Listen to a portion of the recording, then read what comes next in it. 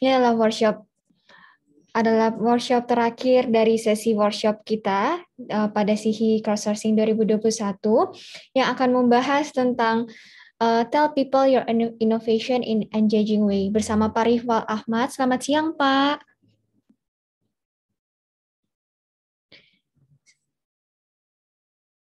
Pak Rifal, selamat siang. Selamat siang. Sorry Baik. ini nggak bisa matiin. Ah, meeting recorded. Ah. Baik, apa kabar Pak? Um, Alhamdulillah uh, baik. Baik. Semoga teman-teman ya. baik semua juga ya. Iya, alhamdulillah. Oke Pak, mungkin tanpa berlama-lama lagi hmm. kita langsung saja mulai Pak. Oh gitu, uh, iya. nggak pakai pembukaan? kita uh, semi informal aja Pak. Jadi untuk okay. waktu dan zoom saya persilakan kepada Pak Rival.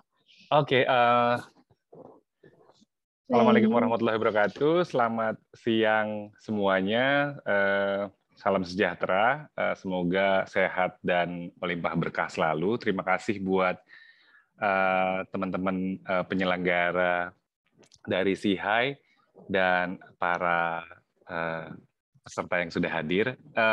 Pertama-tama saya mau minta maaf dulu karena memundurkan jadwal workshop yang harusnya terjadi kemarin siang jadi siang ini semoga uh, tidak mengacaukan uh, besar-besaran ya jadwal uh, teman-teman sekalian bapak ibu sekalian.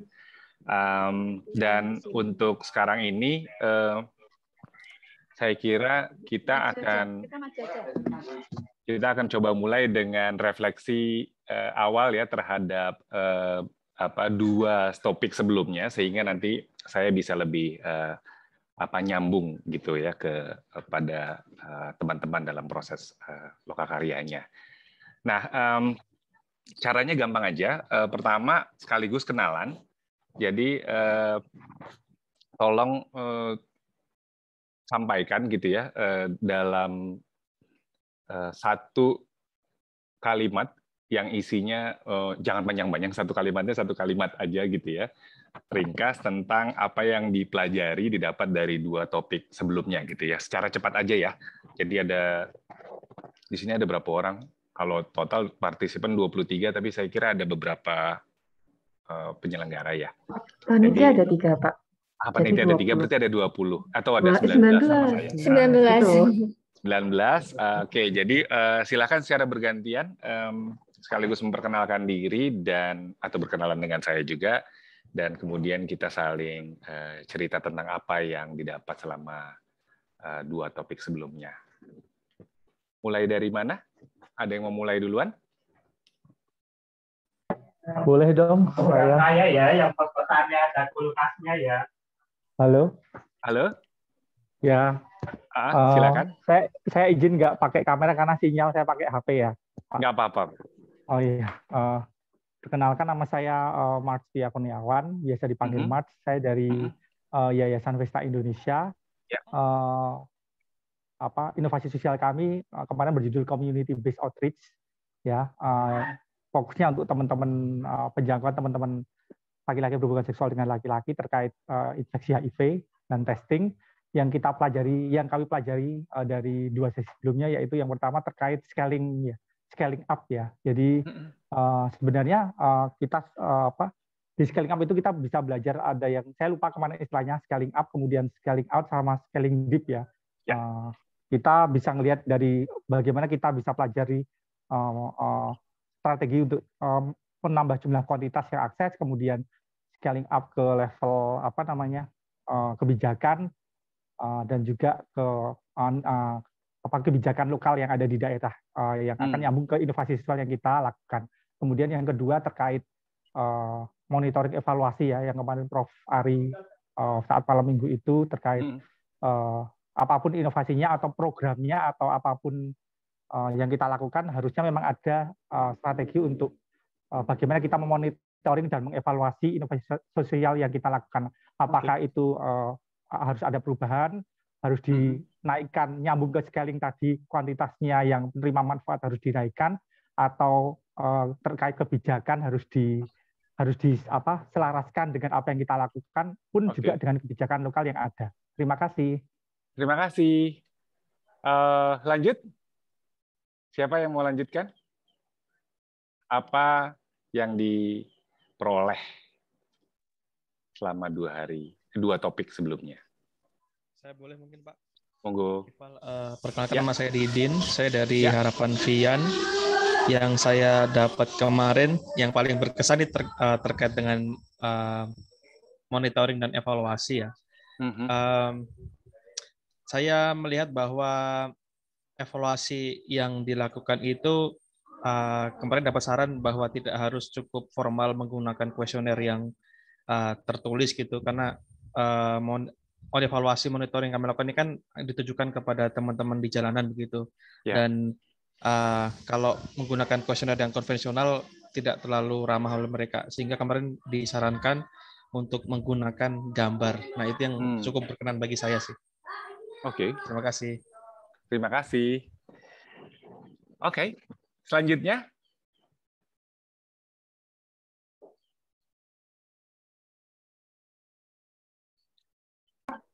izin? Ya. ya. Silakan. Perkenalkan, uh, nama saya Rizka. Saya hmm. dari Inovasi Sekoci. Di sini uh, untuk Sekoci ini sebetulnya backgroundnya inovasi ini adalah pengembangan operasi hmm. ibu hamil di puskesmas uh, dengan pendekatan kebidanan komplementer. Nah, komplementer itu seperti uh, pijat yoga, kemudian uh, body and mind, uh, herbal seperti itu. Kemudian uh, yang kami pelajari selama dua sesi workshop kemarin, uh, tentunya kami belajar banyak terkait bagaimana mendesiminasi uh, inovasi sosial tersebut uh, sehingga bisa berimpact ke masyarakat, uh, baik itu secara online maupun secara langsung. Dan apalagi di masa pandemi, tentunya ini sangat bermanfaat bagi kami yang tadinya kami harus langsung untuk mendesiminasikan bisa dengan berbagai metode-metode secara online. Kemudian juga yang kedua kemarin Prof. Ari pada sesi malam minggu ya, uh, beliau juga mengajarkan bagaimana kita men-scale up uh, inovasi sosial itu uh, secara baik itu secara vertikal uh, ke kebijakan maupun secara horizontal uh, untuk mengembangkan metode inovasi itu sendiri. Jadi itu sangat bermanfaat bagi kami khususnya. Terima kasih Pak Rifal. Oke, terima kasih. Rizka, yang lain? Lanjut.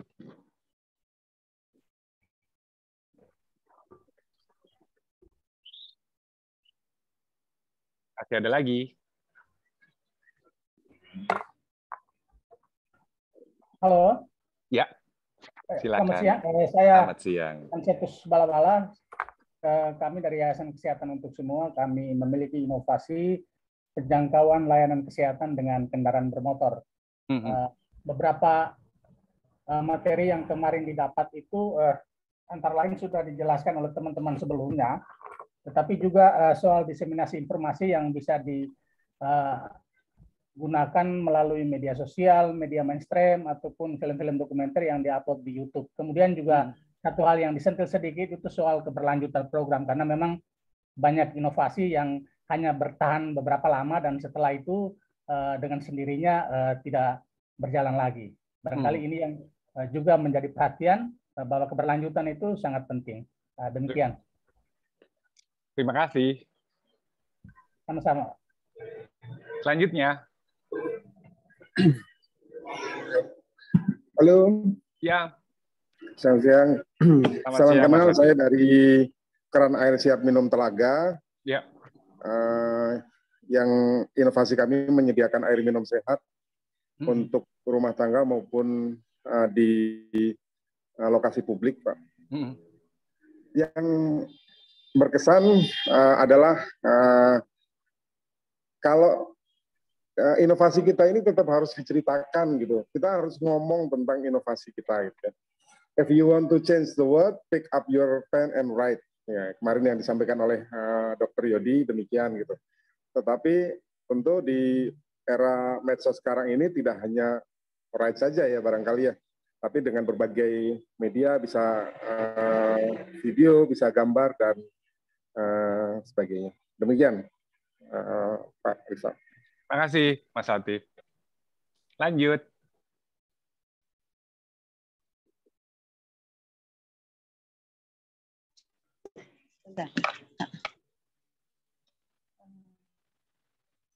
Maaf, di sini sinyal agak jelek ini. Bagus, Ibu. Di sini eh, belum, belum. ya, ya. Kedengaran jelas kok. Uh, da kita dari Luhur Jiwo uh, untuk dua sesi yang kemarin uh, kita betul-betul mendapatkan ilmu yang baru. Dan kita senang sekali untuk untuk sekolah ini atau sesi-sesi ini di mana kita akan menjadi tahu cara penulisan-penulisan yang betul tentang suatu suatu kegiatan. Ya jadinya uh, dari kami mantap bagus pokoknya kita Oke, terima kasih Ibu. Ada lagi? Kawan-kawan?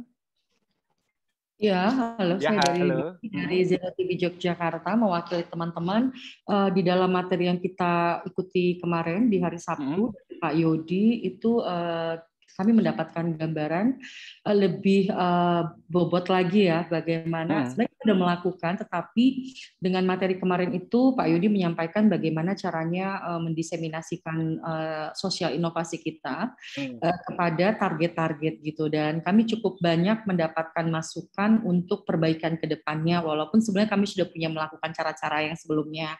Hmm. Kemudian ketika materi di uh, di Prof. Ari itu menjelaskan tentang bagaimana implementasi dan evaluasi eh, eh, daripada proyek kami untuk bisa skill eh, untuk bisa ditingkatkan ya untuk bisa ditularkan ke sekitarnya dan itu juga kami mendapatkan banyak masukan juga sehingga kami juga tidak sabar menunggu materi Pak Rival nih. Nah, rencananya mungkin nanti kami akan mulai uh, sebenarnya kegiatan yang kami lakukan kan kami sudah mulai buat tulisannya segala macamnya, tetapi kita mau bula, mau mencoba mengambil uh, poin-poin yang kita dapatkan dari materi Pak Yodi, materi Prof Ari dan sama Pak Rival ini. Nah, nanti kita akan mungkin kita akan lihat bagaimana perbedaan ketika kita menarasikannya sebelum di proposal awal sama setelahnya. Begitu, Pak. Terima kasih, Mbak Betty. Yang lain? Masih ada kah? Baik, saya ya, silakan dari Indonesia Ramah Lansia, Pak Rival. Mm -hmm. Pada prinsipnya kami dari Indonesia Ramah Lansia setelah mengikuti workshop ini kurang lebih dua hari sangat luar biasa, Pak. Mm -hmm. Dan seperti yang disampaikan teman-teman sebelumnya tadi, banyak hal yang kami pelajari dan itu hal-hal yang baru. Konsep-konsepnya okay. luar biasa sekali. Sayangnya saja memang dalam pembuatan proposal yang pertama mungkin kami yang penting coba aja dulu ngajuin. Mm -hmm. Tapi setelah melihat konsep yang disampaikan oleh narasumber, ternyata banyak sekali kekurangannya. Sebenarnya kita sudah melakukan, hanya untuk menuangkannya yang belum lengkap. Nah, ini memang PR besar sebenarnya untuk kami di Yayasan Indonesia Ramah Lansia untuk menuangkan semua yang sudah disampaikan oleh narasumber supaya menjadi sebuah inovasi yang betul-betul oh dokumentasinya jelas gitu ya. Mulai dari pro, mulai dari input proses sampai dengan outcome-nya. Jadi begitu Pak Rifa terima kasih banyak. Terima kasih. Yep. ada lagi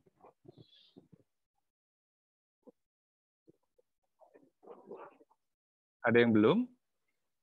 Saya belum hafal, jadi belum ingat apakah sudah semua atau belum. Sepertinya masih ada beberapa ya. Sambil ngecek sudah uh, yang... bisa hadir mengikuti atau belum. Ya silakan. Sepertinya ada dari Puskesmas Sawit tadi sudah belum ya? Iya dari Puskesmas Sawit. Itu kayaknya Puskesmas Sawit yang belum. Mungkin ada problem. Iya, biar kedengeran suaranya. Biar voice-nya bisa bareng-bareng di sini. Silakan. Ada lagi, kalaupun sama organisasinya nggak apa-apa, nggak perlu mau diwakili oleh eh, apa nggak nggak mesti berdasarkan organisasi. Saya eh, mungkin baik juga kalau tiap orang bisa keluar suaranya di dalam forum ini. Silakan. Mungkin sedikit nggih kami dari Puskesmas Sawit. Monggo Ibu. Uh, ya, nggih uh, di kelompok kami yang kami tampilkan untuk inovasi kemarin adalah Nenek Serasi ya, uh, Nenek Peduli Sehat Lantaran ASI di mana kita ingin meningkatkan cakupan dari ASI eksklusif yang masih rendah di daerah kami. Mm-hmm. Ya, dari dua materi yang sudah itu kita mendapatkan banyak hal, bagaimana kemudian kita eh, melakukan diseminasi kayak gitu ya. Mengapa perlu diseminasi untuk sebuah inovasi seperti itu? Kemarin dijelaskan banyak ya. Eh, kemudian juga kita dibimbing bagaimana terkait eh, terkait dengan meningkatkan skala dari inovasi yang kita buat termasuk bagaimana kita melakukan monitoring dan evaluasinya. Mungkin itu terima kasih.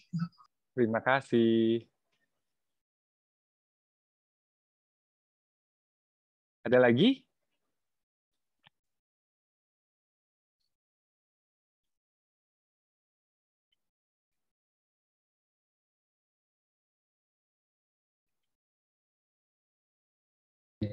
Mungkin dari Yayasan Vesta.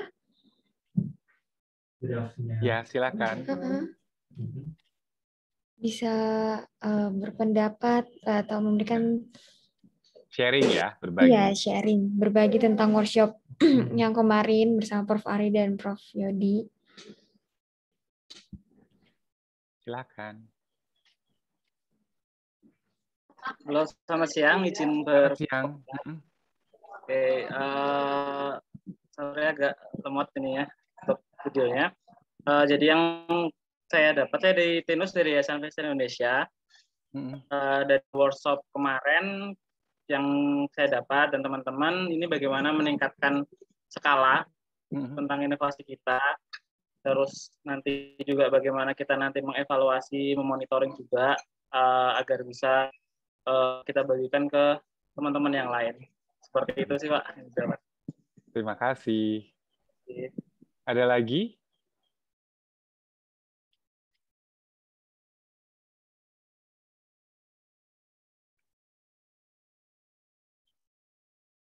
Sudah semua?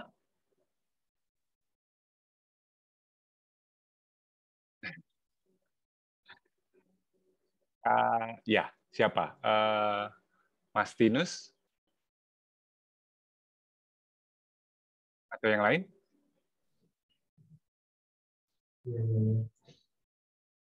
Mungkin sudah semua, Pak. Sudah semua ya? Iya. Oke, okay. oke. Okay.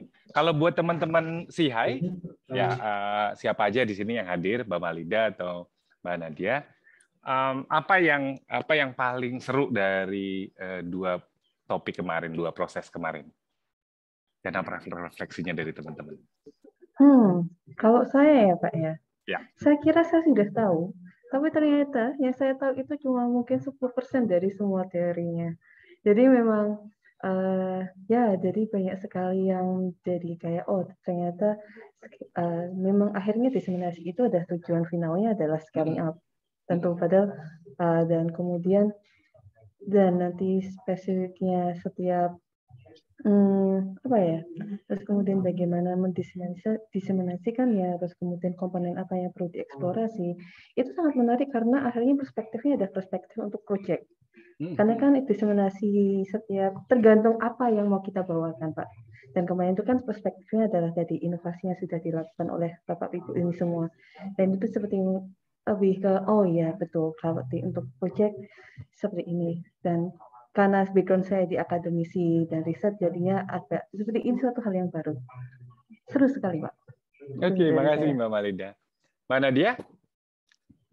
Iya Pak. Jadi kalau menurut saya sendiri sama kayak Mbak Malida ada hal yang baru yang saya pelajari khususnya itu yang kemarin sama Prof uh, Ari tentang evaluasi dan uh, dan mentoring.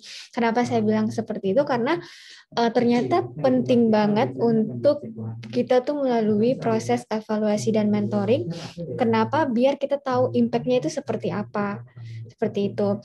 Terus juga bentuk evaluasi dan mentoring juga ada berbeda-beda Kenapa bilang mm-hmm. berbeda-beda? Karena nggak uh, se gak semua project itu bisa pakai entah itu kualitatif atau kuantitatif. Mm-hmm. Bahkan ada yang proses mentoring dan evaluasinya itu tergantung pen, apa uh, karakter atau keadaan dari komunitas tersebut. Karena nggak semua orang bisa uh, mentoring mentoring sama evaluasinya pakai metode yang sama hmm. seperti itu sih Pak.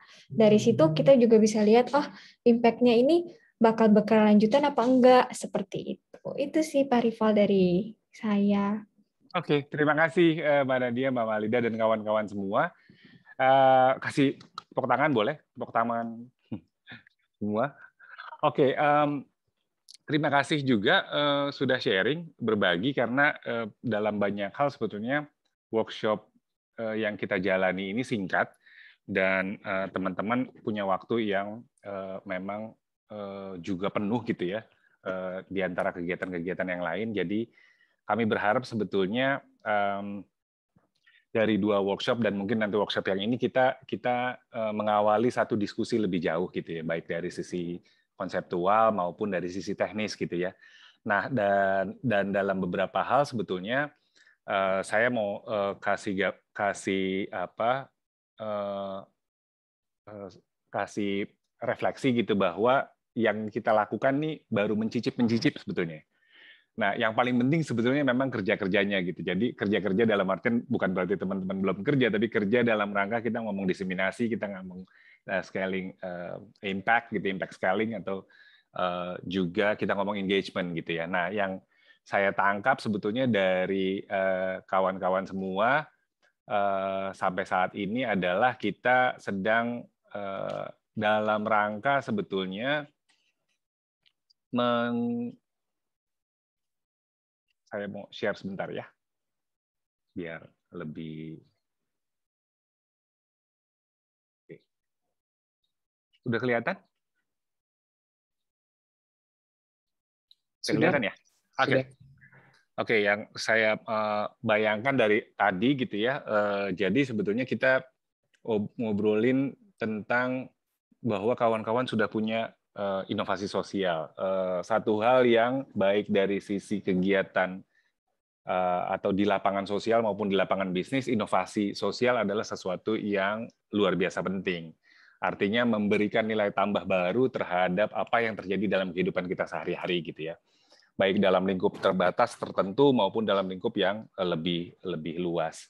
Nah, eh, yang difasilitasi eh, oleh SIHAI dan didukung dan didorong terutama buat kawan-kawan yang terpilih sebagai sembilan eh, terbaik gitu ya bisa dibilang gitu ya.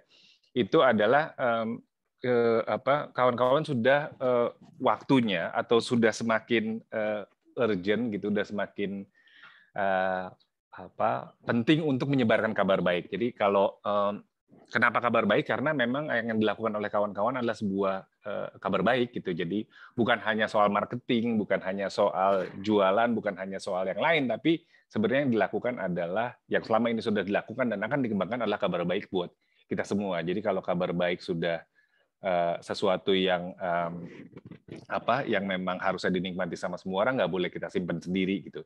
Makanya kemarin pembicaraannya soal diseminasi, pembicaraan soal bagaimana dia uh, apa impact scaling dan bagaimana sekarang kalau kita ngomongnya juga terkait dengan gimana caranya menggalang dukungan yang lebih luas. Galang dukungan dalam artian banyak hal termasuk untuk beneficiaries dari uh, inovasi Bapak Ibu sekalian maupun dari dukungan dari uh, komunitas atau bahkan apa kelompok-kelompok yang juga terkait langsung dan dukungan dari masyarakat yang lebih luas.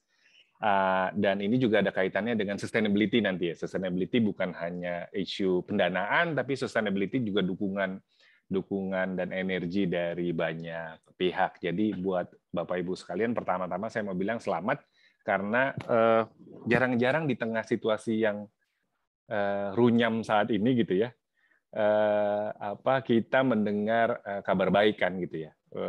Sulit gitu rasanya kita di, di tengah gempuran berbagai macam berita duka gitu uh, dan berpikir positif dan segala macam. Nah, kawan-kawan termasuk bagian eh, kelompok-kelompok yang sebetulnya uh, spesial karena masih mampu bahkan bekerja untuk dirinya demi kebaikan orang banyak dan bisa menyebarkan kabar baik buat orang banyak. Jadi impact-nya kalau buat saya bukan hanya inovasinya itu sendiri, tapi juga kabarnya adalah kabar penting buat kita semua.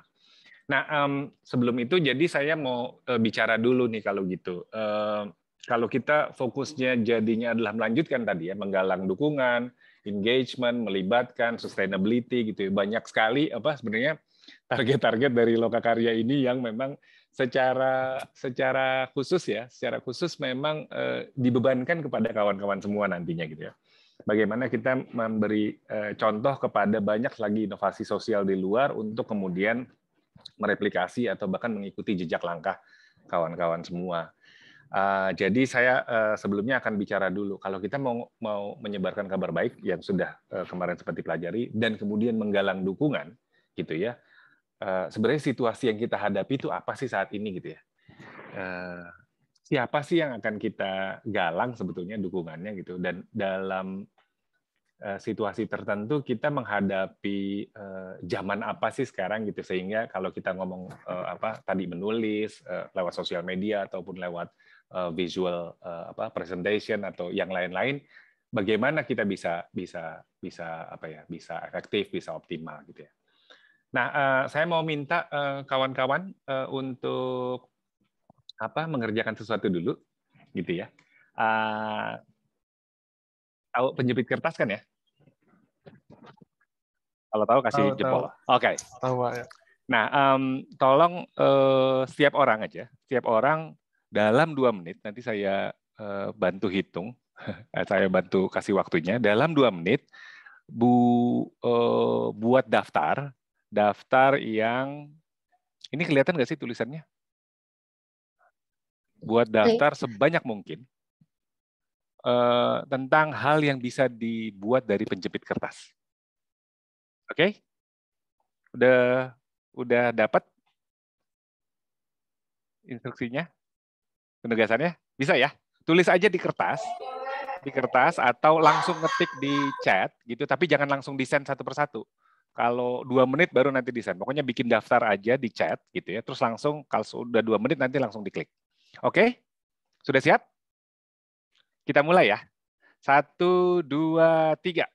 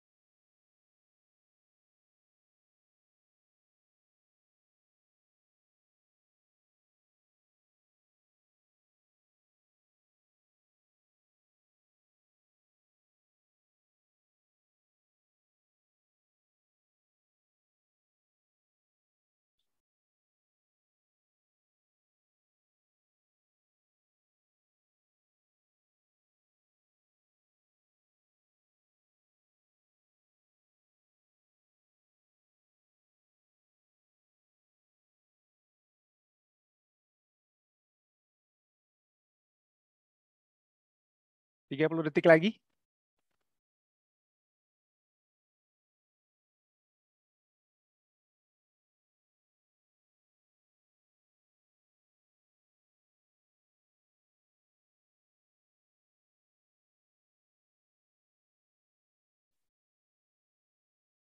Sepuluh detik.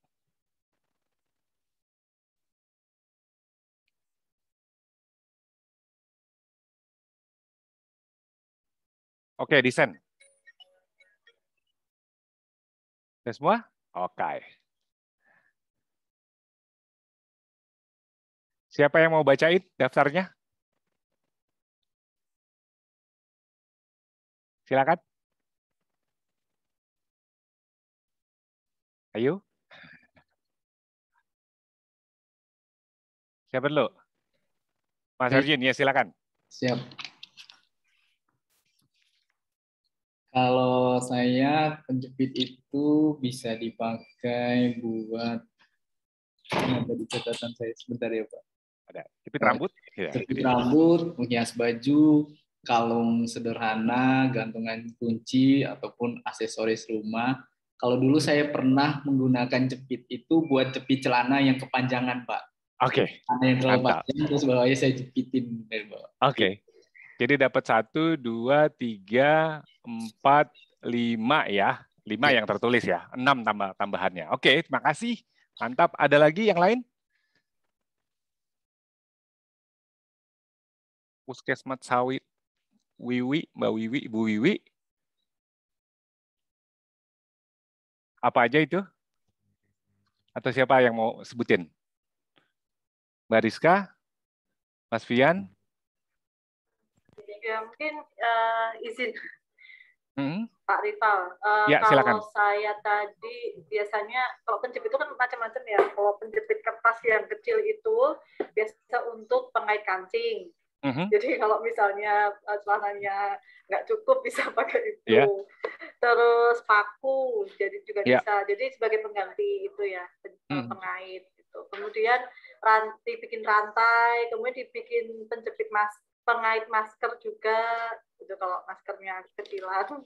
Terus okay. habis itu untuk uh, buka sim card HP juga. Oke. Okay. gitu. Terus untuk kancing juga biasanya kalau misalnya apa namanya nggak bisa dikaitin kayak gitu. Itu ya. itu sih biasanya.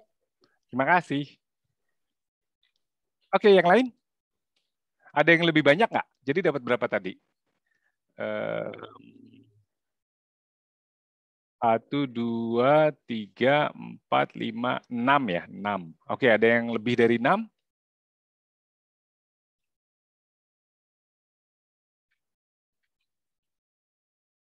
Adakah? Silakan. Atau silakan Gantung siapa kalender, Pak. Oke, iya silakan. Tambahan kalender, gantungan kalender ya? Iya. Kemudian juga mungkin bisa membantu merapikan tali-tali yang kurang rapi kayak gitu, okay, ataupun ya, kabel ya. kayak gitu. Yeah. Oke, okay, ya ya ya. Oke, okay. lanjut. Ada apa lagi? Ada yang mau nambahin? Di sini ada juga yang buka SIM card HP. Ada tambahannya lagi um, gantung alat tulis terus tempel pengumuman, uh, anting-anting. Nah, ini sopan-sopan semua di sini. Uh, lukisan mozaik, oh, oke. Okay. Penggantungan alat masak, oke. Okay. Ada yang mau nambahin lagi? Oke. Okay. Kira-kira apa uh, apa apa maksud dari apa uh, game ini? Ada yang punya komentar?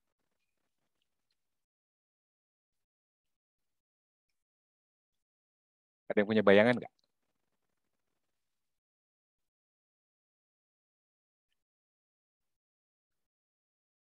Masih uh, ingatkah dulu waktu di zaman uh, Perang Dingin, ada yang mungkin yang lahirnya tahun sekitar dari 60, 70, 80 lah masih dapat lah ya eh, ngerasain Perang Dingin. Dulu ada dua kubu, kubu Amerika Serikat dan atau kubu uh, negeri Barat gitu ya dan kubu yang uh, timur diwakili oleh Uni Soviet dan uh, Cina ya.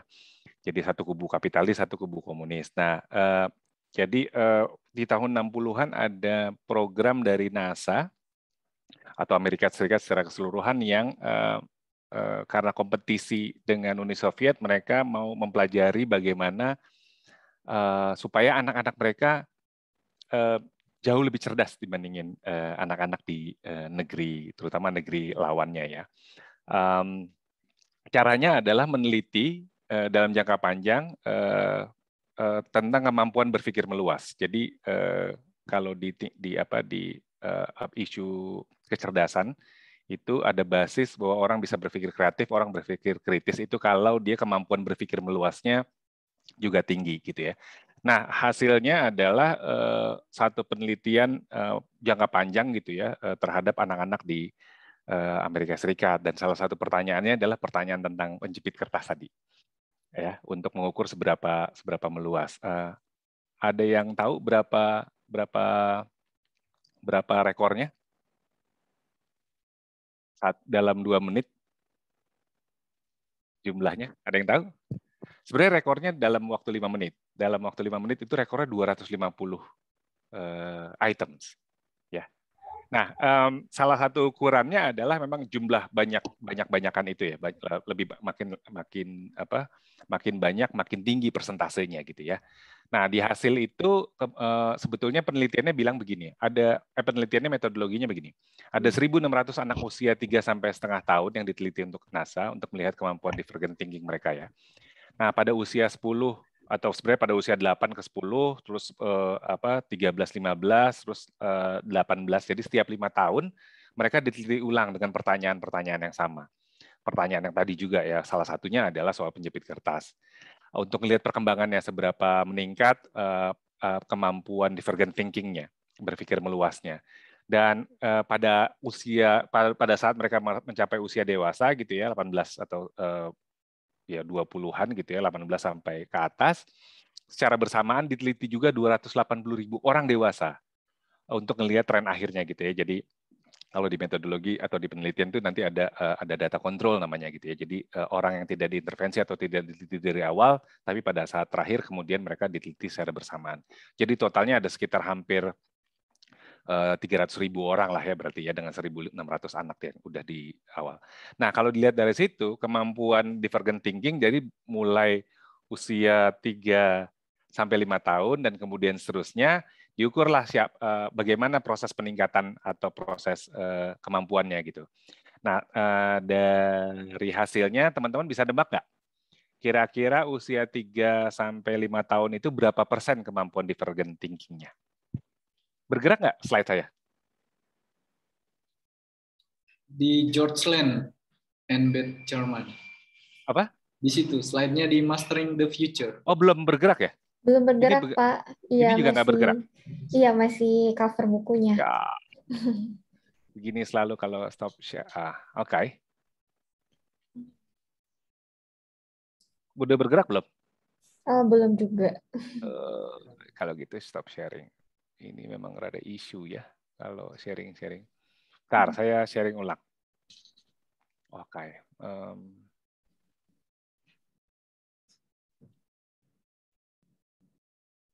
bergerak? Hmm, tidak lagi, Pak. Belum. Ya juga. Belum. Oke. Okay. Uh, eh, kalau saya giniin, kelihatan nggak? Iya, kelihatan. Ah, gini aja ya. Uh, Oke. Okay. Um, ya ketutup. Oke, okay. kelihatan ya ini? Iya kelihatan Pak. Uh, Oke, okay. ada 1.600 dan kemudian um, kita bisa lihat uh, apa? Nah, tapi dia nggak mau naik kalau ini. Oke. Okay. Yang berikutnya, ini bergerak nggak?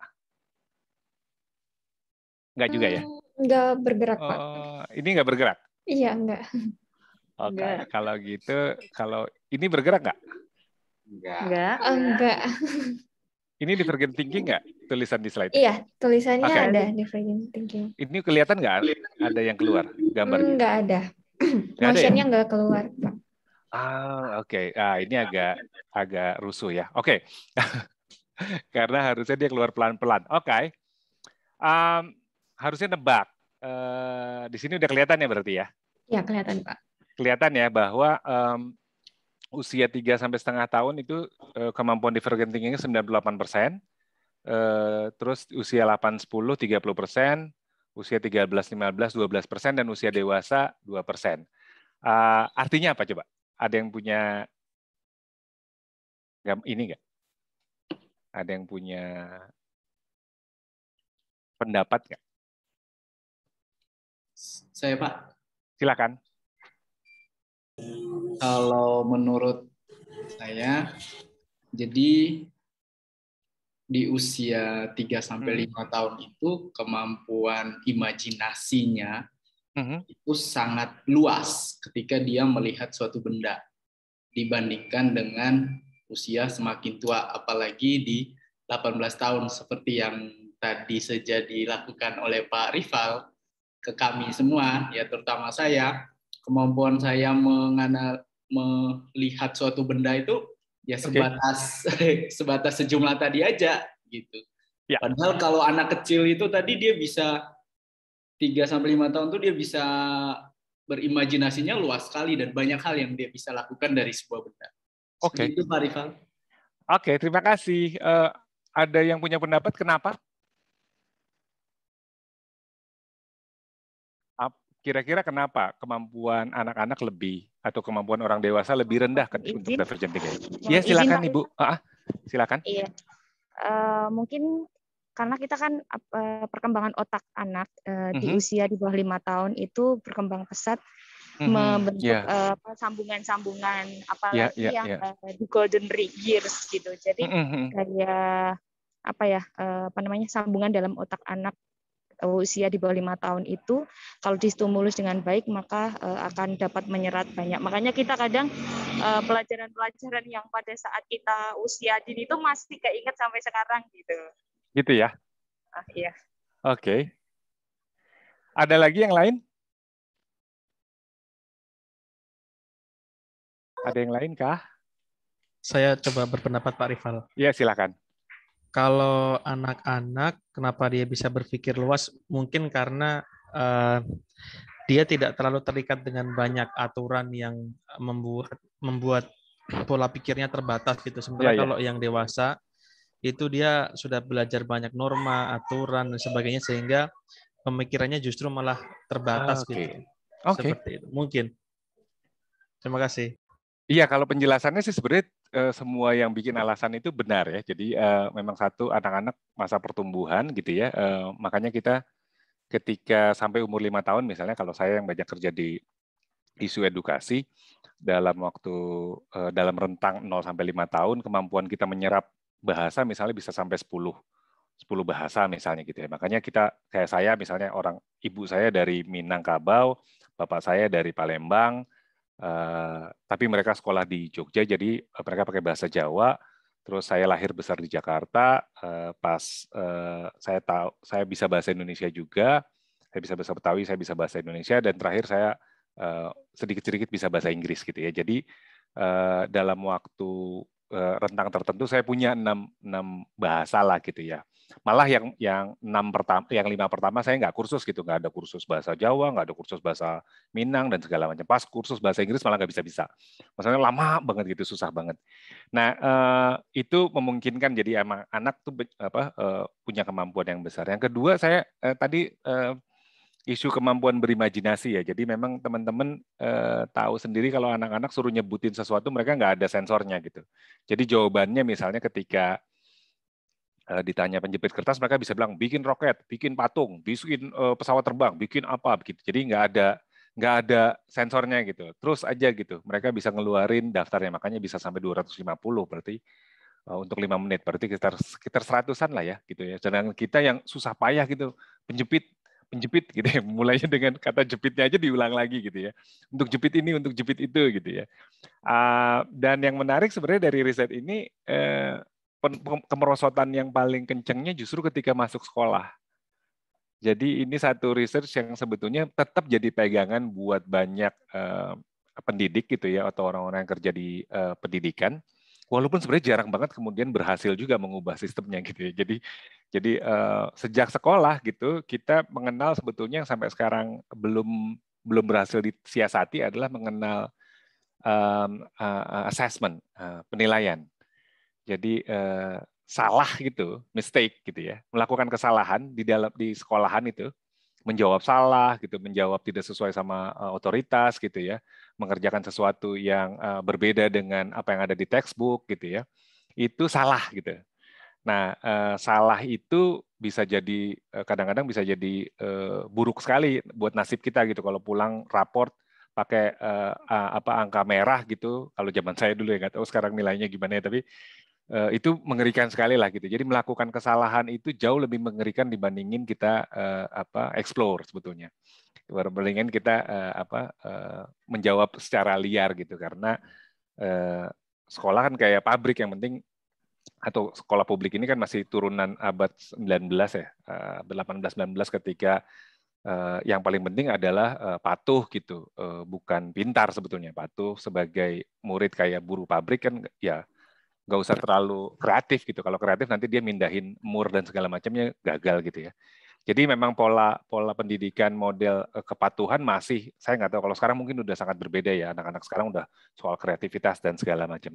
Nah cuman selain yang di dalam sekolahan sistemnya juga tadi yang terakhir bilang bahwa kita udah ada norma sosial bahasa sendiri udah mengekang kita gitu ya. Saya ngerasain sekali misalnya bahasa teman-teman kalau yang ada di Indonesia Timur tuh lebih membebaskan gitu. Banyak metafor dan segala macam. Sedangkan bahasa di uh, saya yang hidup besar di Jakarta tuh lebih terkungkung sama bahasa-bahasa yang lebih lebih apa ya lebih straight gitu yang langsung misalnya gitu ya. Uh, saya lihat teman-teman yang uh, bisa berapa bahasa juga kemudian lebih gampang code code switch namanya pindah kode gitu ya dari satu ke satu yang lain kalau ada kayaknya gagasan ini nggak cocok pakai bahasa yang ini keluarin aja gitu dan segala macam Nah, semakin kita semakin kita dewasa, semakin banyak juga aturan gitu ya. Saya, uh, Bapak Ibu tadi sempat katakan gitu, ada hukum, saya latar belakangnya hukum ya. Jadi saya paham persis gitu gimana gimana orang hukum membuat uh, uh, seneng banget nakut-nakutin orang gitu loh. Apa-apa terus harus ada sanksinya gitu ya. Bikin peraturan perundang-undangan tuh undang-undang atau peraturan tuh nggak pernah jadi kabar baik gitu, nggak pernah jadi kabar gembira. Jadi dia selalu jadi kabar buruk kalau kalau buat siapa pun, karena selalu ada sanksi gitu. Jadi kita dianggap selalu kelompok yang harus dipecut-pecut gitu uh, dan apa untuk bergerak. Padahal kalau kelihatan di eh, kemampuan yang sekarang yang jadi penting adalah isunya kreativitas kan. Bagaimana kita kreatif, bagaimana kita berinovasi. Nah, sialnya gitu Bapak dan Ibu adalah sekelompok kecil mungkin yang terlepas gitu ya dari eh, kerangkeng selama ini gitu. Tapi tetap dalam situasi di mana kita eh, apa kemampuan divergent thinkingnya perlu terus-menerus dilatih gitu ya. Uh, nah, tapi ketika kita ngomong menggalang dukungan, diseminasi, memberikan kabar baik, sebetulnya yang kita hadapi sebagian besar orang dewasa ini. Orang-orang yang kalau sebetulnya secara umum gitu ya dalam proses belajar gitu ya. Kan dalam proses belajar tuh kira-kira kayak gini ya waktu kecil anak-anak tuh mangkoknya terbuka gitu Jadi yang tadi semua bahasa bisa masuk, semua pengetahuan lancar gitu, plus diterima apa adanya, paling ditanya kenapa ya, kenapa ya gitu ya. Nah, ketika orang dewasa menerima informasi, dia dalam situasi yang berbeda, dia udah udah menyempit gitu loh kemampuannya. Jadi kalau kalau dan bukan hanya otaknya tapi juga tubuhnya gitu ya. Uh, apa uh, menerima informasi yang nggak enak didengar tuh tubuh kita kan suka bergetar sendiri ya. Atau tiba-tiba tutup kuping gitu loh. Atau tutup mata gitu loh kalau kalau ngelihat yang nggak enak. Itu kan artinya kita udah mulai menyaring eh, segala macam uh, hal gitu ya. Uh, dan bisa dibayangkan seperti mulut uh, botol gitu orang dewasa itu. Jadi udah disaring semua informasi. Bahkan untuk bicara pun kita nyaring gitu kayak uh, menyaringnya gitu. Kayak tadi daftar gitu. Nggak ada tuh yang bilang uh, untuk bikin perahu boat untuk di sayur untuk di apa gitu nggak ada tuh. Karena di dari awal kepala kita udah punya uh, udah memilah mana yang dianggap waras gitu ya bahkan ya. Mana yang masuk akal gitu yang mana yang bisa diterima oleh sosial gitu dan mana yang dianggap nanti wah aneh nih uh, orangnya mikirnya oh, aneh-aneh gitu gak waras gitu. Uh, jadi uh, di awal sendiri yang keluar ya segitu jadinya gitu ya. Uh, dan kalau kita mau ngomong tentang gimana caranya supaya orang-orang dewasa ini juga kembali ke mangkok? Karena kalau kita ngasih informasi kan berarti informasinya kalau nggak cocok udah pasti mental tuh. E, makanya kalau di sosial media antara yang berkelahi sama yang berkoneksi itu lebih banyak yang berkelahi kalau dari risetnya gitu ya. Jadi entah apakah e, hasrat berkelahi kita memang difasilitasi atau pada dasarnya orang e, pertama-tama nolak dulu gitu loh. Enggak ah gitu nggak gitu gitu. Jadi kebiasaan dari awal bukan uh, bukan connection. Nah makanya uh, cara cara ketika kita menghadapi orang dewasa dan kalau kita mau ngasih informasi baru atau bahkan mau ngasih kabar baik gitu ya, pertama-tama ya gimana caranya melihat uh, mereka ke stretching gitu, di stretch kemampuan tubuhnya, otaknya, intuisinya, emosinya untuk untuk bisa nerima pengetahuan apa informasi baru gitu ya. Yang bisa jadi selama ini mungkin nggak punya pengalamannya. Nah, um, makanya uh, kemampuan kita brainstorming sebetulnya jadi penting. Brainstorming itu uh, seperti anak-anak tadi gitu ya, ya sebut aja gitu tanpa seleksi gitu. Uh, bikin kursi, bikin apa baju gitu ya. Uh, Itu itu kemampuan brainstorming, menyusun apa daftar sebanyak mungkin tanpa tanpa diseleksi dulu gitu ya. Baru nanti kita ngomong seleksinya belakangan setelah daftarnya udah udah mulai baru. Makanya kalau buat saya justru percaya sebenarnya Bapak Ibu sekalian adalah eh, orang-orang yang memang bekerja untuk keluar dari kerangkeng pikiran yang udah ada gitu. Kalau enggak, nggak akan bisa bikin inovasi gitu ya. Atau bahkan mulai dari sini bisa dipus untuk bikin satu uh, apa tadi uh, apa impact scaling gitu ya. Makanya nerima impact scaling itu seneng kalau orang-orang yang uh, sebetulnya biasa terkreatif atau mau uh, cari jalan keluar baru gitu ya, nggak mau terkungkung sama jalan-jalan yang lama, dia akan keluar cari jalan baru dan kemudian seneng kalau misalnya dapat trik-trik baru gitu. Um, Gitu kira-kira. Uh, jadi yang kita hadapi pertama-tama sebetulnya adalah ketika kita mau ngomong nyebarin kabar baik atau menggalang dukungan, nah masalah isu terbesarnya sekarang ini adalah atau isu utamanya adalah orang dewasa itu yang kemampuan menerima informasinya sebetulnya cukup terbatas. Jadi harus dibantu. Nah situasi lain adalah eh, teman-teman bisa nebak nggak? Negeri terkaya di dunia memiliki kekuatan militer terbesar, pusat bisnis dan keuangan dunia, sistem pendidikan terhebat, pusat inovasi dan penemuan dunia, mata uangnya jadi standar nilai dunia dan punya standar hidup tertinggi. Silakan diklik deh di chat. Bisa nggak?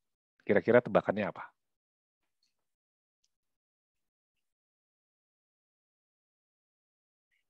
Yeay, Inggris. Ada lagi?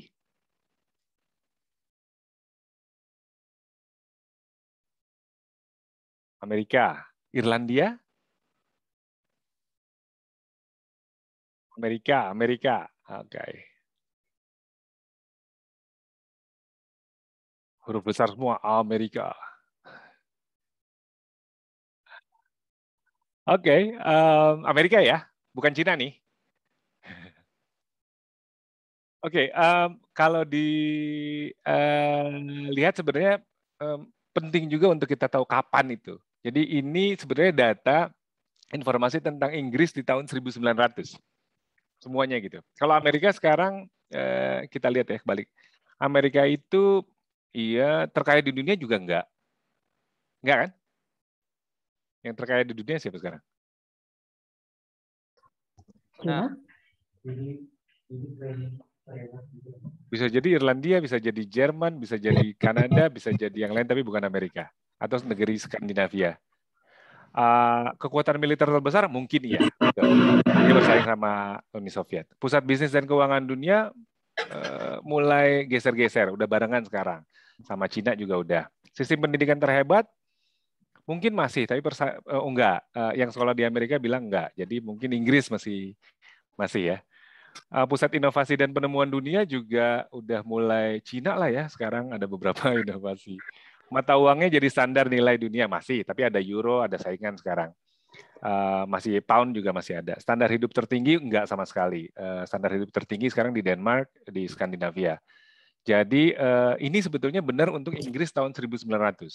Tapi dalam waktu kurang dari 20 tahun sebetulnya sejak mereka jadi uh, apa punya status tadi itu mulai tergerus sejak Perang Dunia Pertama. Dan kemudian terus tergerus sejak apa eh, zaman meleset namanya gitu sekitar tahun 29 20-an akhir dan kemudian perang dunia kedua yang segera diambil alih sama Amerika pada saat itu dan dan Uni Soviet tentu saja dia nggak sendirian Amerika waktu itu. Nah, yang menarik sebetulnya adalah eh, dalam waktu kira-kira 100 tahun terakhir sebetulnya dari 1920-an gitu ya, sekarang kan 2020 ya. 100 tahun terakhir itu pergeserannya cepat sekali gitu. Dulu Inggris da, uh, sampai dia di tahun 1900 itu dia kira-kira berkuasa di dunia itu sekitar 300 tahun lah ya dengan uh, kolonialisme dan segala macam. Tapi sekarang uh, nggak ada yang bisa bertahan lama gitu. Amerika kalau misalnya kita hitung dari 1945 ya belum belum 100 tahun juga gitu ya. Dan sekarang udah mulai dapat saingan. Jadi dunia itu sekarang makin cepat sebetulnya uh, penguasanya atau pelaku aktor utamanya ganti-ganti uh, dari sisi jumlah teks aja yang terkirim tiap hari gitu ya, itu udah melebihi total penduduk bumi. Kalau total penduduk bumi sekarang sekitar berapa? 7,2 miliar. Itu berarti satu hari itu ada lebih dari 7,2 miliar teks terkirim ya. Um, itu sama dengan satu minggu harian New York Times. Jadi eh, ya sekitar segitulah ya. Um, memuat informasi lebih banyak dari yang bisa dikumpulkan sepanjang hayat oleh seorang yang hidup pada abad 18. Jadi orang abad 18 itu informasinya bahkan nggak sampai uh, subur hidupnya paling sekitar 50 atau 60 tahun lah ya uh, usianya atau 40 mungkin ya. Nggak sampai tuh satu berapa miliar itu. Dan diperkirakan ada 40 exabyte. Saya baru tahu ada istilah exabyte ya. 4 kali 10 pangkat 19 informasi unik baru yang akan dihasilkan di seluruh dunia pada tahun ini. Gitu ya. Jadi dalam tahun ini gitu sampai Desember nanti itu ada sekitar 40 exabytes informasi unik baru, bukan informasi biasa-biasa saja, bukan yang diulang-ulang, bukan yang sinetron zaman dulu diputar lagi gitu bukan, tapi yang baru gitu dihasilkan. Dan um, ini artinya uh, lebih dari yang dihasilkan selama 5.000 tahun terakhir ya.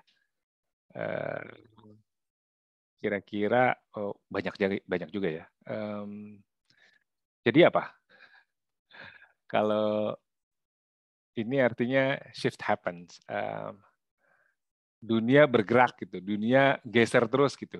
Dia nggak berhenti, dia nggak nggak apa dan semakin hari semakin semakin cepat gitu ya uh, isunya adalah kita kitanya yang bergerak apa enggak gitu. Kalau dunia terus bergerak sama seperti bumi terus muter gitu ya, masyarakatnya bergerak atau enggak. Nah, apa artinya? Artinya sebetulnya uh, saat ini kita bicara tentang uh, pertandingan informasi gitu ya. Uh, pertandingan apa? Bukan hanya Thomas Cup ya. Jadi selamat buat Bapak Ibu sekalian yang sudah merasa sebagai bangsa menang lagi gitu ya karena udah sering kalah gitu jadi kita kalau menang tuh harus dirayain beneran gitu jarang-jarang jadi kalau pertandingan bukan hanya pertandingan tapi ada pertandingan informasi pertandingan yang eh, terus menerus eh, sebetulnya makin hari makin cepat makin hari makin makin gila-gilaan juga ada pertandingan pengetahuan gitu ya jadi bukan hanya informasi aja tapi pola-pola informasi yang kemudian jadi pengetahuan kayak si Hai ini gitu ya inovasi baru udah cara baru gitu ya uh, impact scaling gitu. Jadi kemarin dapat apa dua kali apa dua kali topik aja kita udah dapat kayaknya oh banyak banget gitu. Dan yang juga penting adalah pertandingan ciri, cerita gitu ya. Jadi uh, kalau tadi ada informasi, ada pengetahuan dan ada cerita gitu. Banyak baik dalam banyak hal kita uh, sering uh, apa bilang bahwa orang tergerak sama pengetahuan, tapi sebenarnya pengetahuan yang Eh, punya punya apa yang lebih menggerakkan adalah pengetahuan yang punya uh, cerita gitu ya. Nah, um, itu dulu itu situasi yang kedua. Tadi situasi yang pertama adalah yang kita hadapi adalah orang-orang dewasa yang harus di stretch dan yang kedua situasinya adalah uh, kita nggak sendirian gitu. Jadi ketika kita ngelempar informasi, ngelempar tentang kabar baik kita, melempar tentang uh, inovasi yang uh, Bapak Ibu sekalian sudah lakukan, di dalam uh, apa segala dalam bentuk segala dalam segala bentuk media melalui segala bentuk media maka kita bertanding sebetulnya dengan uh, sejumlah itu gitu. Jadi itu situasi yang keduanya gitu ya. Oke? Ada pertanyaan?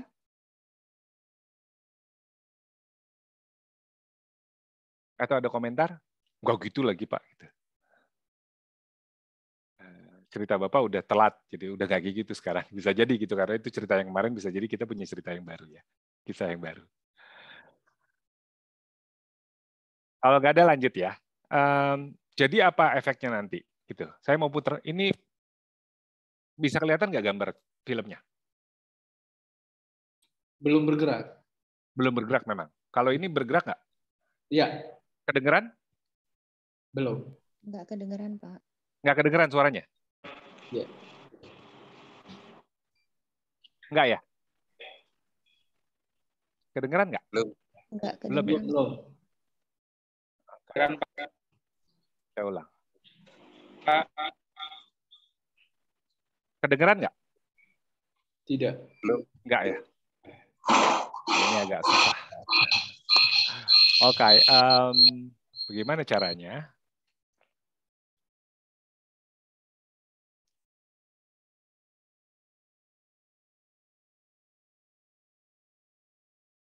Nggak kedengeran juga ya? Tidak. Gambarnya bergerak nggak? Bergerak. Gambarnya bergerak, Pak. Iya, okay. tapi suaranya enggak. Oke, okay. coba ditonton dulu aja gambarnya ya.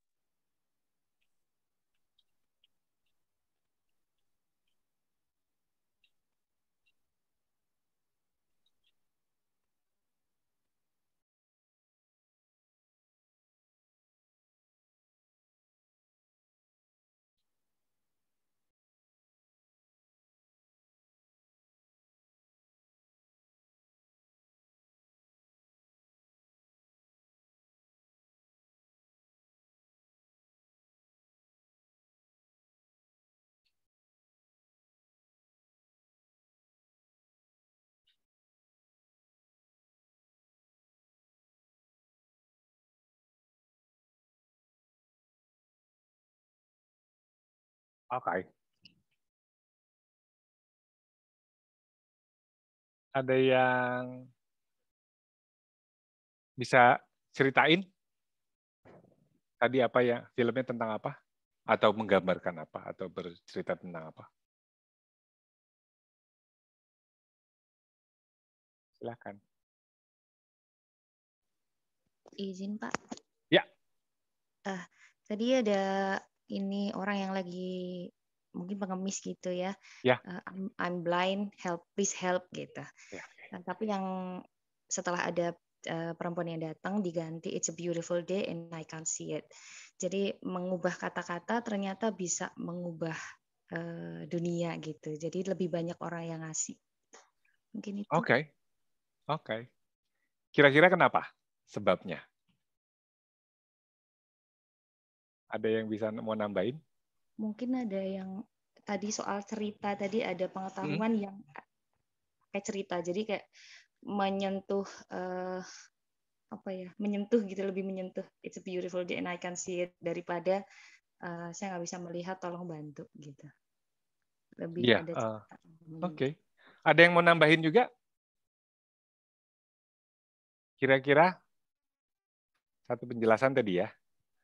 Jadi kalau uh, menurut saya uh, ada uh, dua perbedaan sih. Kalau I'm blind itu kan dari uh, perspektif uh, dia gitu sebagai uh, pengamis gitu. Sementara kalau yang What a yang Beautiful Day yang di akhir itu uh, uh, it, kata itu membuat orang punya apa ya relasi gitu, punya konteks. Sehingga ketika ada orang yang uh, dalam apa namanya kalimat itu dia buta dan dia nggak bisa ngelihat, jadi dia punya semacam apa ya ya relasi aja sih sebenarnya. Keterkaitan ya, ya. gitu secara realitasnya. Itu uh, ya menarik ya. Jadi buat uh, apa tadi yang pertama ini soal juga bagaimana mengubah kata ya. Mengubah bahasa. Yang kedua adalah membuat bahasa bahasa punya kemampuan juga mengengage ya. Jadi kalau yang pertama bilang uh, I'm blind please help. Uh, saya buta tolong bantu saya gitu. Itu ya faktanya memang gitu ya. Uh, Ya, kita bisa lihat ada orang uh, bapak buta dan kemudian dia uh, hanya duduk gitu dan ada kotak gitu ya. Pun nggak ada tulisannya kita tahu dia buta dan mungkin uh, apa. Jadi uh, secara faktual benar gitu. Tapi nggak membuat orang ternyata tergerak untuk kemudian meng, apa, uh, mendukung gitu ya. Nah di dalam uh, banyak hal sebetulnya ini juga kejadian kejadian sama kita ya. Kita bisa kita bisa juga ngelihat Iya fakta bertebaran orang orang orang miskin banyak, orang susah banyak dan segala macam. Tapi nggak nggak selalu juga kita bisa tergerak untuk terlibat gitu ya dalam baik membantu atau mendukung atau uh, memberi fasilitas atau dan segala macam gitu. Jadi Uh, kecuali kita kenal mungkin kecuali kita tahu story-nya uh, orang itu gitu ya bisa saudara bisa tetangga bisa segala macam mungkin kita akan jauh lebih tergerak gitu ya atau ada cerita-cerita yang memang secara sengaja di dikampanyekan gitu ya nah um, itu uh, yang uh, situasi ketiga sebetulnya jadi uh, bahasa juga sebetulnya uh, bukan yang, Eh, diterima begitu aja ya. Eh, kita bisa main di situ gitu. Ya. Main dalam artian sebenarnya kekuatan bahasa itu luar biasa. Dia juga dia bukan hanya menyajikan bukan hanya menyajikan apa eh, gagasan baru gitu, hal baru, pengetahuan gitu, tapi juga dia create create apa dia bisa create apa membuat emosi, mengcreate yang kemudian mengcreate empati gitu dari empati kemudian dia membangun koneksi. Nah, ini yang yang yang jadi penting sebetulnya. Bagaimana kita mempelajari atau membuat kalau nanti bahasanya menulis maupun mengekspresikan itu juga sesuatu yang yang powerful gitu. Jadi bukan yang biasa-biasa aja juga gitu. Karena itu tadi kita bertanding dengan segitu banyak informasi, pengetahuan dan cerita dari tempat lain. Apa yang membuat cerita kita, informasi kita, pengetahuan kita itu bisa jadi pilihan utama buat buat yang lain juga gitu ya. Eh, kira-kira begitu. Eh, nah kalau teman-teman tahu juga itu dasarnya kan sebetulnya karena eh, teman-teman tahu kan kita punya apa ini kan banyak orang kedokteran sebetulnya ya. banyak orang medik. Jadi saya sebenarnya yang paling nggak kompeten di sini. Tapi kan otak kita ini ada yang apa lebih lebih apa ya lebih lebih analitikal gitu ya. Kemampuan uh, melihatnya itu senang banget di, diasuh pakai data statistik dan segala macam gitu. Tapi juga ada yang sangat sangat uh, hobi sama warna dan segala macam gitu percaya nggak sama itu percaya nggak iya iya ya atau mau ngerasain langsung uh, saya mau ngajak ngerasain langsung aja ya benar nggak sih ada dua belahan itu gimana caranya supaya kita bisa ngerasain dua belahan itu Bentar, saya cari ada satu gambar yang mungkin menarik. Oke. Okay. Uh, eh, kita coba ya. Bentar.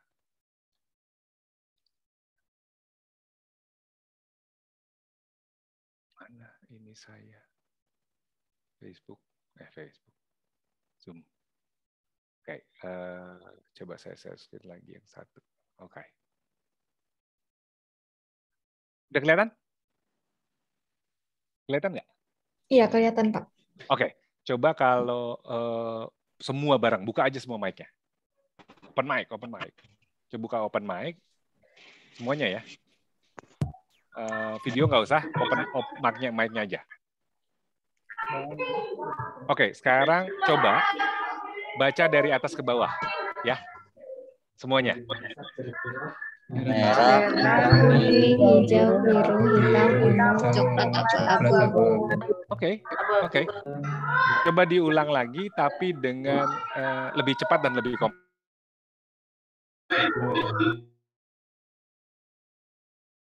OK ờ, Okay. Um,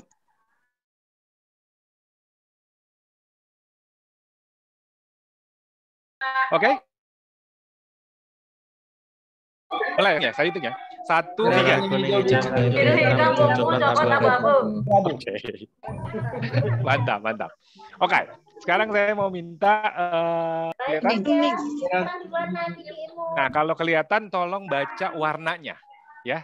Jangan baca tulisannya, tapi baca warnanya. Oke, dari atas ke bawah dengan kecepatan yang sama dan kekompakan yang sama. Oke, buka open mic semua. Satu, dua, tiga biru, hitam, merah, hijau, kuning, merah, biru, merah. Coba lebih cepat dan lebih kompak lagi ya. Mulai ya. Satu, dua, tiga biru, ungu, hitam, merah, hijau, kuning, biru, abu-abu. Oke, oke. Oke, makasih. Terima kasih. Kira-kira kenapa yang kedua lebih susah? Karena dibuat pecah. Pengaruh Pengaruh tulisan. Pengaruhi itu sama aja. Tidak sesuai kata-kata dengan warna. Tidak sesuai kata-kata. Kalau buat buat buat teman-teman yang paling atas warnanya apa? Biru. Biru. Biru. Biru. kalau buat orang Madura, ada nggak orang Madura Madura di sini? Ya. Itu warnanya apa? Biru. Apa? Jadi sebenarnya kan ada ada emang ada kesepakatan ya buat bahasa Inggris itu blue aja sebenarnya. Bukan.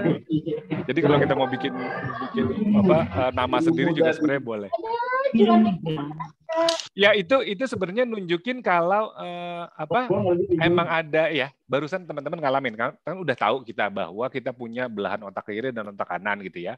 Nah teman-teman barusan ngerasain tabrakannya.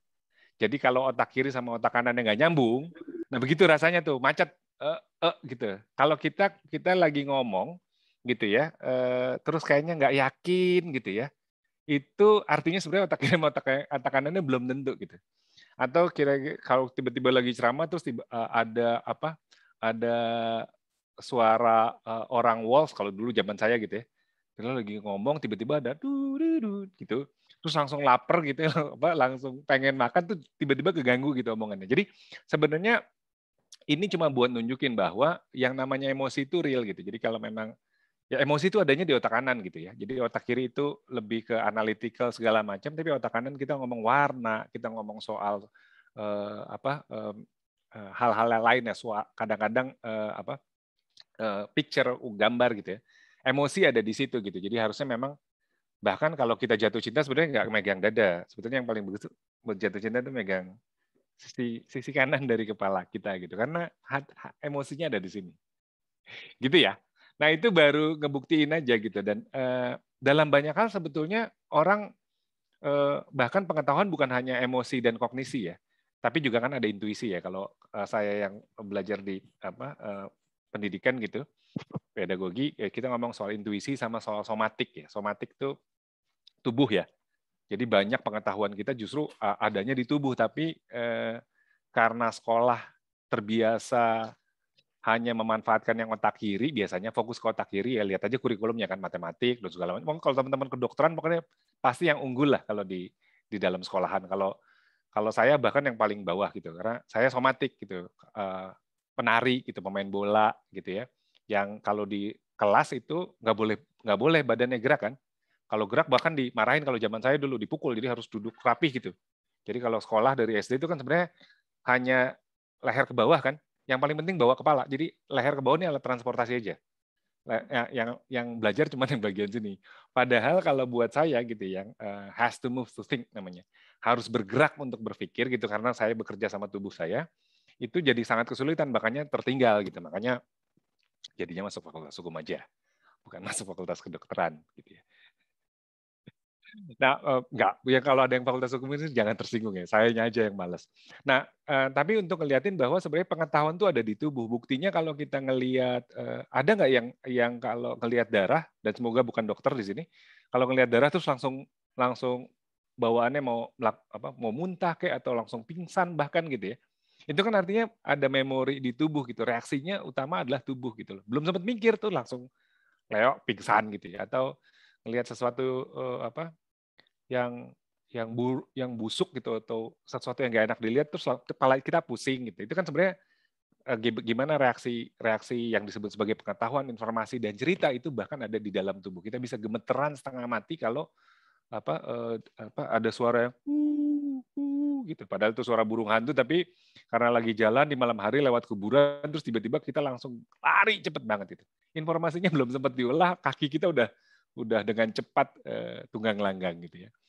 Nah um, itu sebenarnya uh, memperlihatkan bahwa uh, yang disebut sebagai apa tubuh manusia itu sebenarnya juga kaya gitu ya. Uh, dan sering kali kita kita bisa memanfaatkan bahasa, memanfaatkan uh, tulisan atau presentasi untuk menggerakkan dan yang digerakkan bukan cuma uh, informasi kognisinya aja atau yang terkait sama kognisi tapi seluruh seluruh tubuhnya bisa Jangan-jangan perlu digerakin supaya dia langsung bergerak cepat.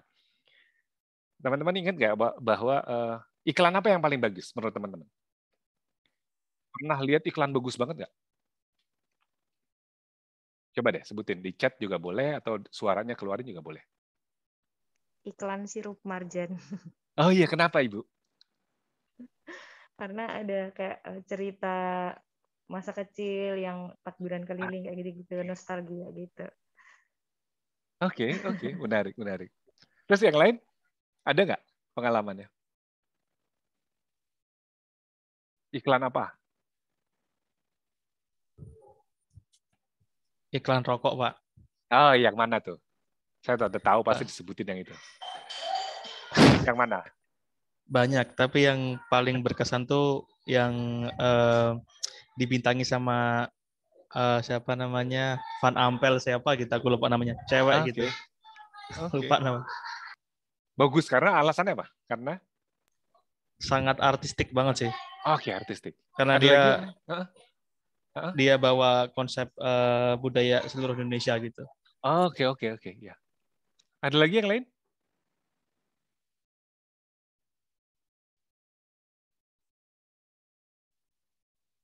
Gak ada yang iklan Indomie ya?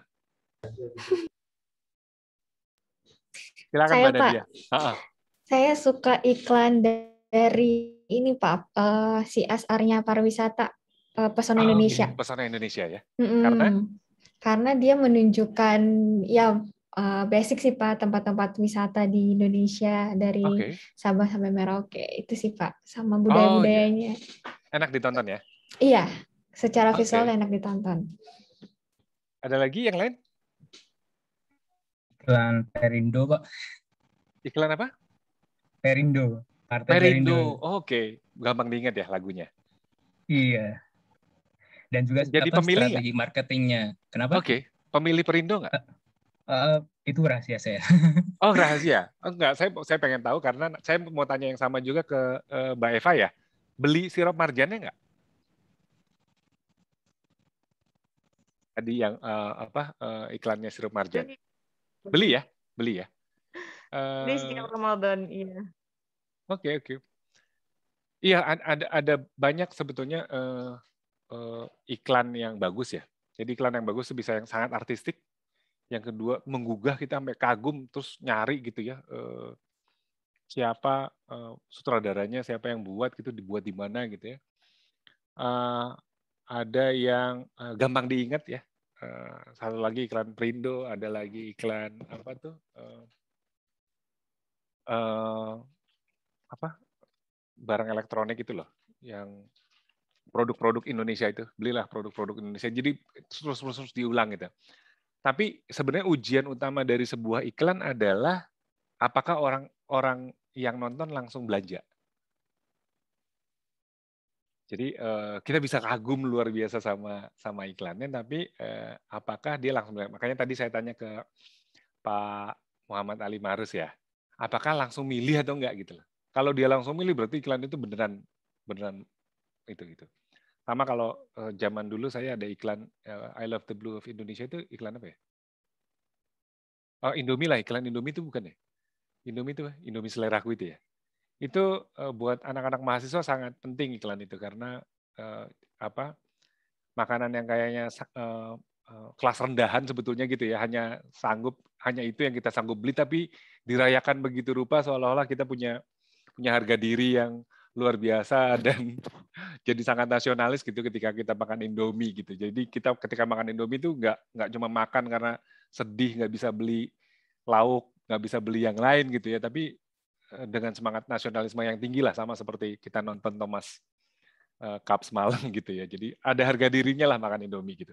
Walaupun tiap hari cuma dua kali juga sih, karena sanggupnya beli cuma dua kali gitu. Tapi itu uh, apa membuat orang belanja Indomie ya. Dan sampai sekarang saya nggak tahu kenapa uh, apa makanan itu termasuk makanan yang bahkan udah jadi makanan pokok gitu ya buat semua orang.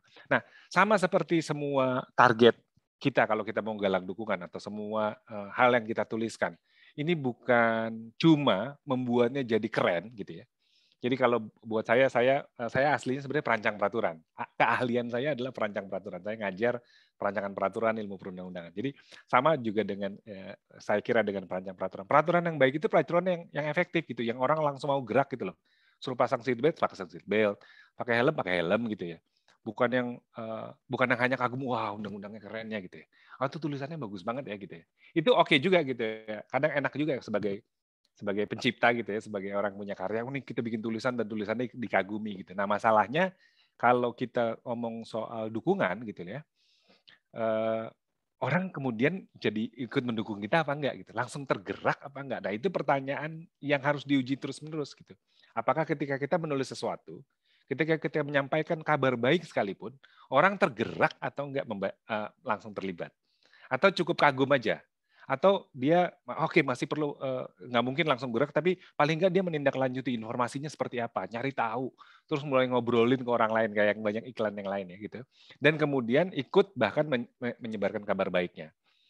Makanya kalau di Apple ada apa perusahaan Apple tahu ya yang yang ngeluarin uh, MacBook ya itu marketingnya sebutannya evangelist jadi bukan marketer, bukan bukan seller, bukan bukan sales gitu, tapi sebutannya evangelis sama kayak agama gitu ya. Jadi dia memang membawa kabar baik gitu. Jadi dia nggak jualan, kami nggak jualan, kami hanya mau ngasih kabar baik dan syukur-syukur uh, kalau mau uh, bareng sama kita untuk nyebarin kabar baik gitu. Jadi nggak perlu iklan yang aneh-aneh gitu segala macam. Dia udah udah yakin bahwa produknya uh, sendiri adalah kabar baik. Nah itu yang mesti kita kita bayangkan sebetulnya ketika kita mau menyampaikan sesuatu ya uh, sering kali uh, ada yang disebut juga uh, curse of knowledge ya uh, apa kutukan pengetahuan ya. Kutukan pengetahuan tuh kira-kira uh, kira-kira gini ya apa uh, kedengeran nggak saya ngetuk-ngetuk? Dengeran nggak? Jelas dengar. Denger ya? Kedengeran ya? Gitu ya? Kedengeran ya? Nah saya saya akan nyanyiin satu lagu dengan ketukan ya. Jadi teman-teman coba nebak ya bisa di chat, bisa langsung keluarin suaranya.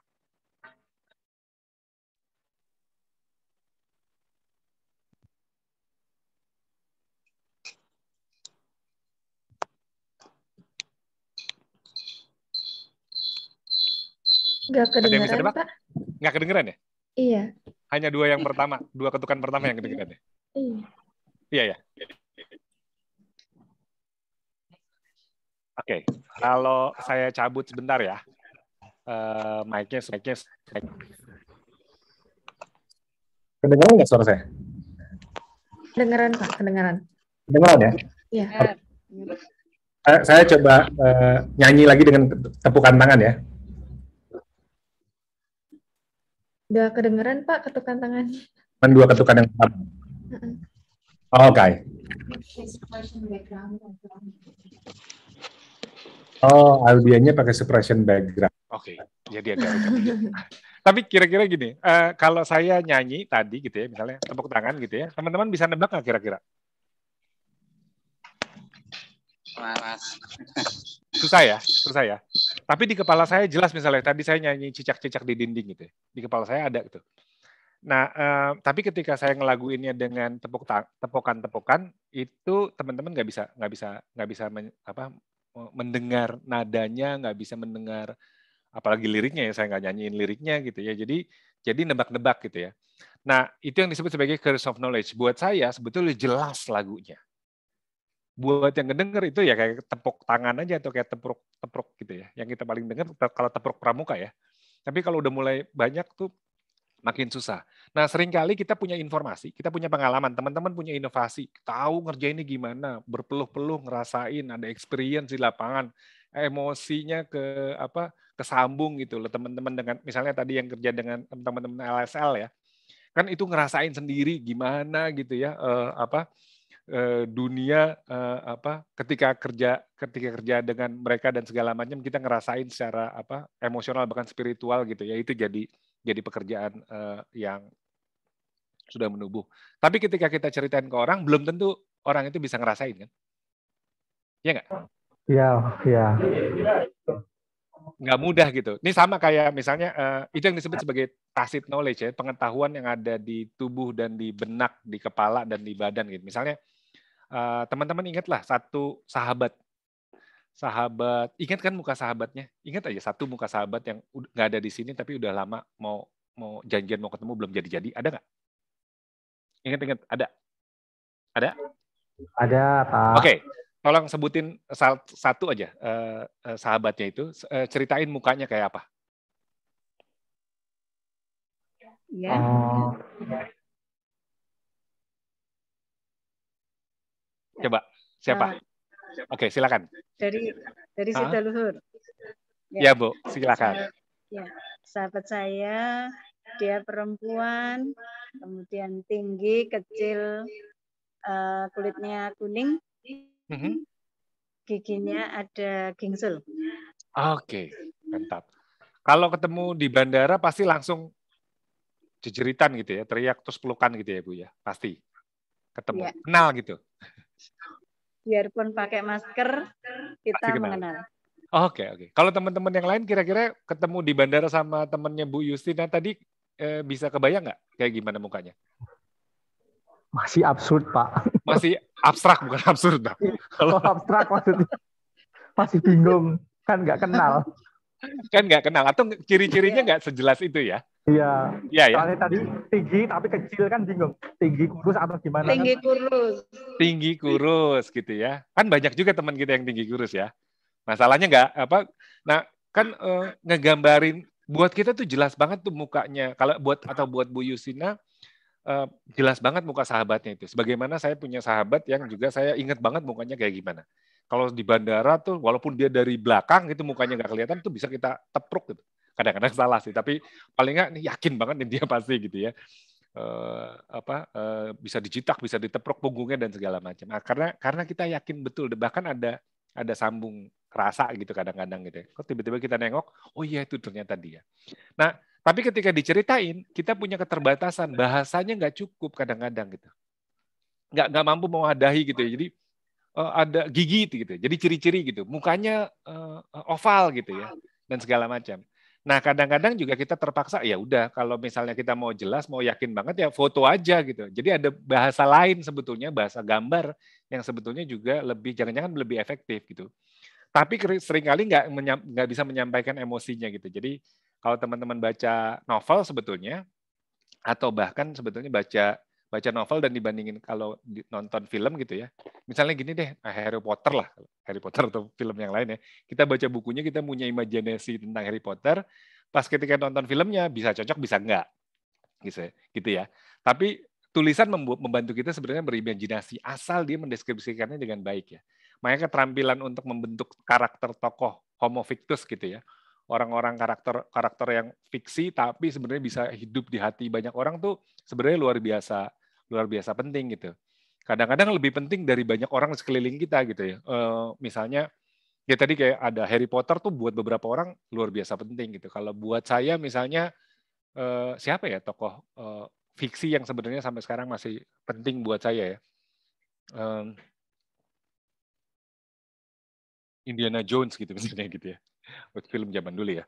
Uh, atau Game of Thrones deh, uh, tapi Game of Thrones juga Jon Snow misalnya gitu kalau itu, atau uh, Dono Kasino Indro gitu kalau buat versi Indonesia gitu ya. Itu kan sebenarnya tokoh fiksi kan, bukan tokoh beneran gitu. Tapi di hidup kita tuh dia jadi penting banget gitu lah. Nah, uh, dalam banyak hal sebenarnya cerita, cerita tentang inovasi, cerita tentang apa segala macam kadang-kadang cerita cerita orang-orangnya juga hilang gitu.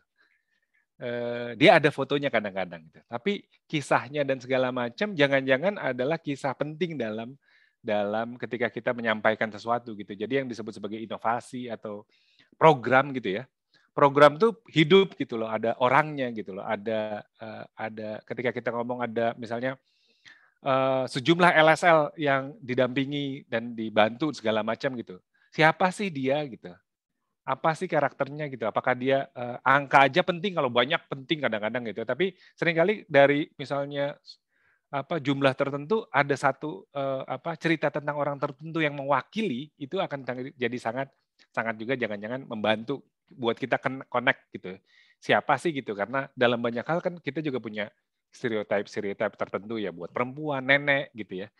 Neneknya kayak gimana sih gitu ceritanya apa sih dari satu nenek itu gitu jadi ketika kita bicara tentang menyampaikan sesuatu atau menggalang dukungan atau kita membeli kabar baik, sebenarnya kita juga obrolin tentang bagaimana si oh, subjek nanti akan menerima sebenarnya bisa mengalami langsung pengalaman dari uh, kita sendiri yang menjalankan program supaya ceritanya bisa lebih nyambung. Kalau enggak dia akan jadi yaitu kutukan pengetahuan. Kita hanya seperti ngetuk uh, apa atau tepuk tangan gitu terus lagunya nadanya liriknya tuh nggak nggak nggak terlalu kelihatan analoginya kira-kira gitu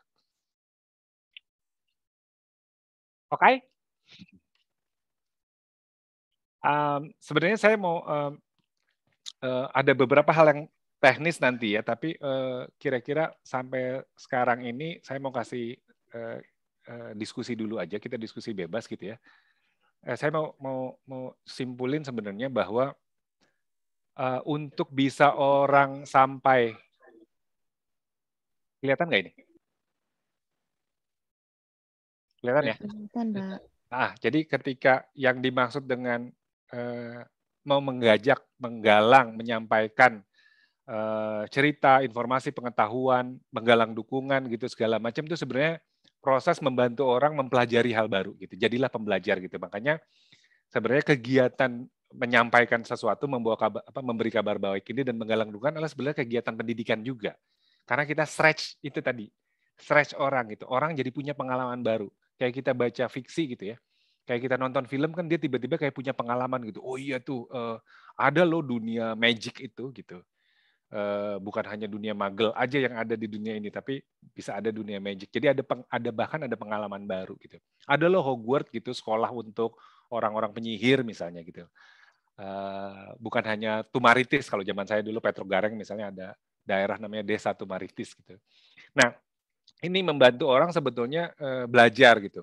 Nah, yang disebut sebagai belajar sebetulnya yang paling kuat itu rutenya adalah dia turning experience, mengubah pengalaman jadi pengetahuan. Jadi pengalamannya dulu, pengalaman emosinya, pengalaman tubuhnya, pengalaman uh, informasinya, ada cerita dan segala macam, sehingga dia baru bisa ngerasain yang sama. Jadi ketika kita cerita tentang, oh ya kami mendampingi atau kami punya inovasi, pengalaman kawan-kawan itu penting untuk dialami sama yang lain. Paling tidak sebagian apa sih rasanya jadi teman-teman gitu yang mendampingi itu atau apa sih rasanya jadi yang didampingi atau menikmati inovasi sosial teman-teman itu yang di itu yang di apa ya di share dibagi ke orang-orang yang mau mendukung gitu atau orang-orang yang mau mengalami. Jadi dia harus mengalami dulu.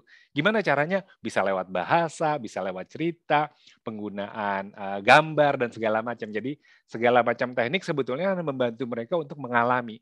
Karena kalau mereka nggak punya pengalaman, jaraknya jadi kayak tadi. Jadi pengetahuannya kayak bunyi ketukan aja. Dia nggak ada gerak gitu loh, nggak ada nggak ada ininya dari knowledge into understanding dan masih ada tahap selanjutnya. Karena kalau mereka oh iya tahu dan punya pengalaman tapi mereka paham nggak sih gitu ya? mereka sebetulnya sama-sama uh, oh iya bener itu penting nggak sih gitu ya? Itu perlu perlu sesuatu yang uh, apa uh, bisa di, bisa bisa bisa menggerakkan orang lain untuk ikut ah saya juga mau meng, apa bisa bisa bisa kalau kita paham kita mau nih ngedukung gitu. Jadi dari knowledge harus dia sampai ke level understanding. Nah, di understanding itu kita bisa cerita beberapa hal yang lain. Siapa sih kita, apa yang kita kerjain, implementasinya gimana, kira-kira jalannya gimana, kesulitannya gimana. Bahkan nggak perlu cerita sukses terus ya. Kadang-kadang cerita uh, keprosok di mana itu juga jadi cerita bahwa ini kita vulnerable dan dan nggak bisa sendirian. Kenapa butuh orang banyak? Bukan karena kita super power justru, justru karena kita uh, ada yang bilang misalnya kolaborasi itu kan merangkul ya bahasa Indonesia-nya, merangkul gitu. Merangkul itu kayak petinju yang udah capean sebetulnya. kalau petinju yang yang yang masih seger dia kan ninju-ninju aja, tapi kalau udah mulai kecapean kan dikit-dikit dia ngerangkul gitu. Jadi sebenarnya kita ini harus ngasih kabar juga bahwa orang lain bisa lo bantu kita dan kita ini juga punya apa ya kerentanan kerapuhan sendiri gitu dan butuh banyak orang untuk bergabung gitu. Nah, baru dari situ ketika udah ada understanding bahwa tiap orang juga punya peluang untuk membantu, kita kasih kesempatan untuk kemudian berkontribusi, kita kasih kesempatan kemudian untuk ngerasain pengalaman yang sama, kebahagiaan yang sama, kesulitan yang sama, pengalaman emosional yang sama, baru dia akan jadi wisdom. Eh, sama yang seperti teman-teman alami kan untuk bisa sampai level ini kan butuh wisdom tertentu. Kalau enggak dia nggak akan punya aksi baru. Gitu. Jadi tindakan baru itu, tindakan baru itu bisa mendukung, berdoa gitu misalnya, mendoakan tapi beyond itu bahkan membantu, mendukung dari sisi finansial, mendukung eh, volunteerism, mau nyebarkan kabar baik ke orang lain yang mungkin cocok dan segala macam menggalang dukungan lebih luas, itu adalah kegiatan baru atau tindakan baru. Dan tindakan baru itu nggak cuma muncul dari orang tahu gitu.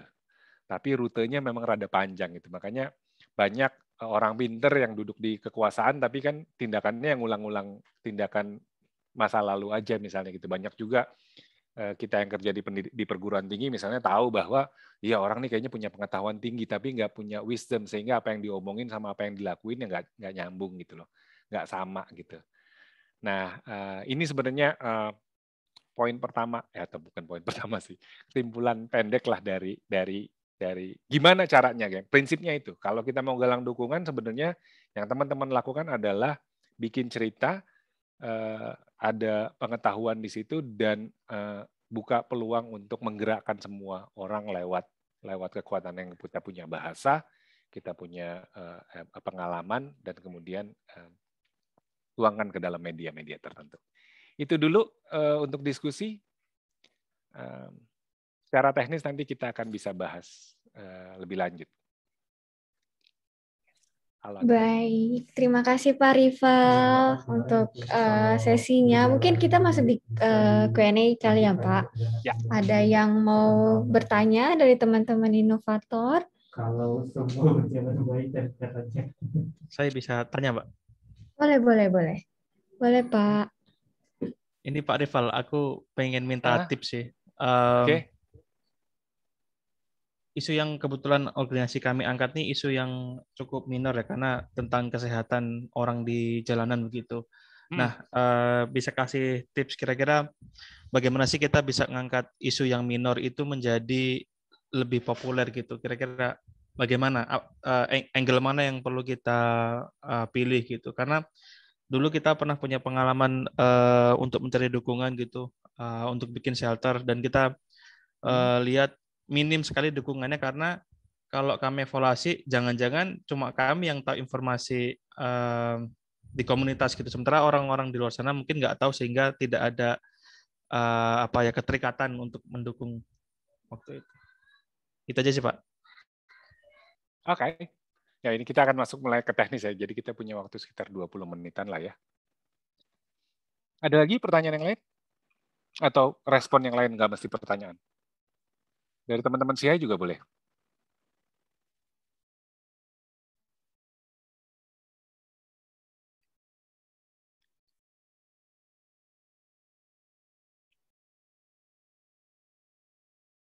Ada? Belum, Pak. Mungkin nanti akan terpancing dari mungkin pertanyaannya dari okay. Pak Yudin dulu. Yang tadi ya? Nanti yang bisa mulai lagi. Ya. Okay, um,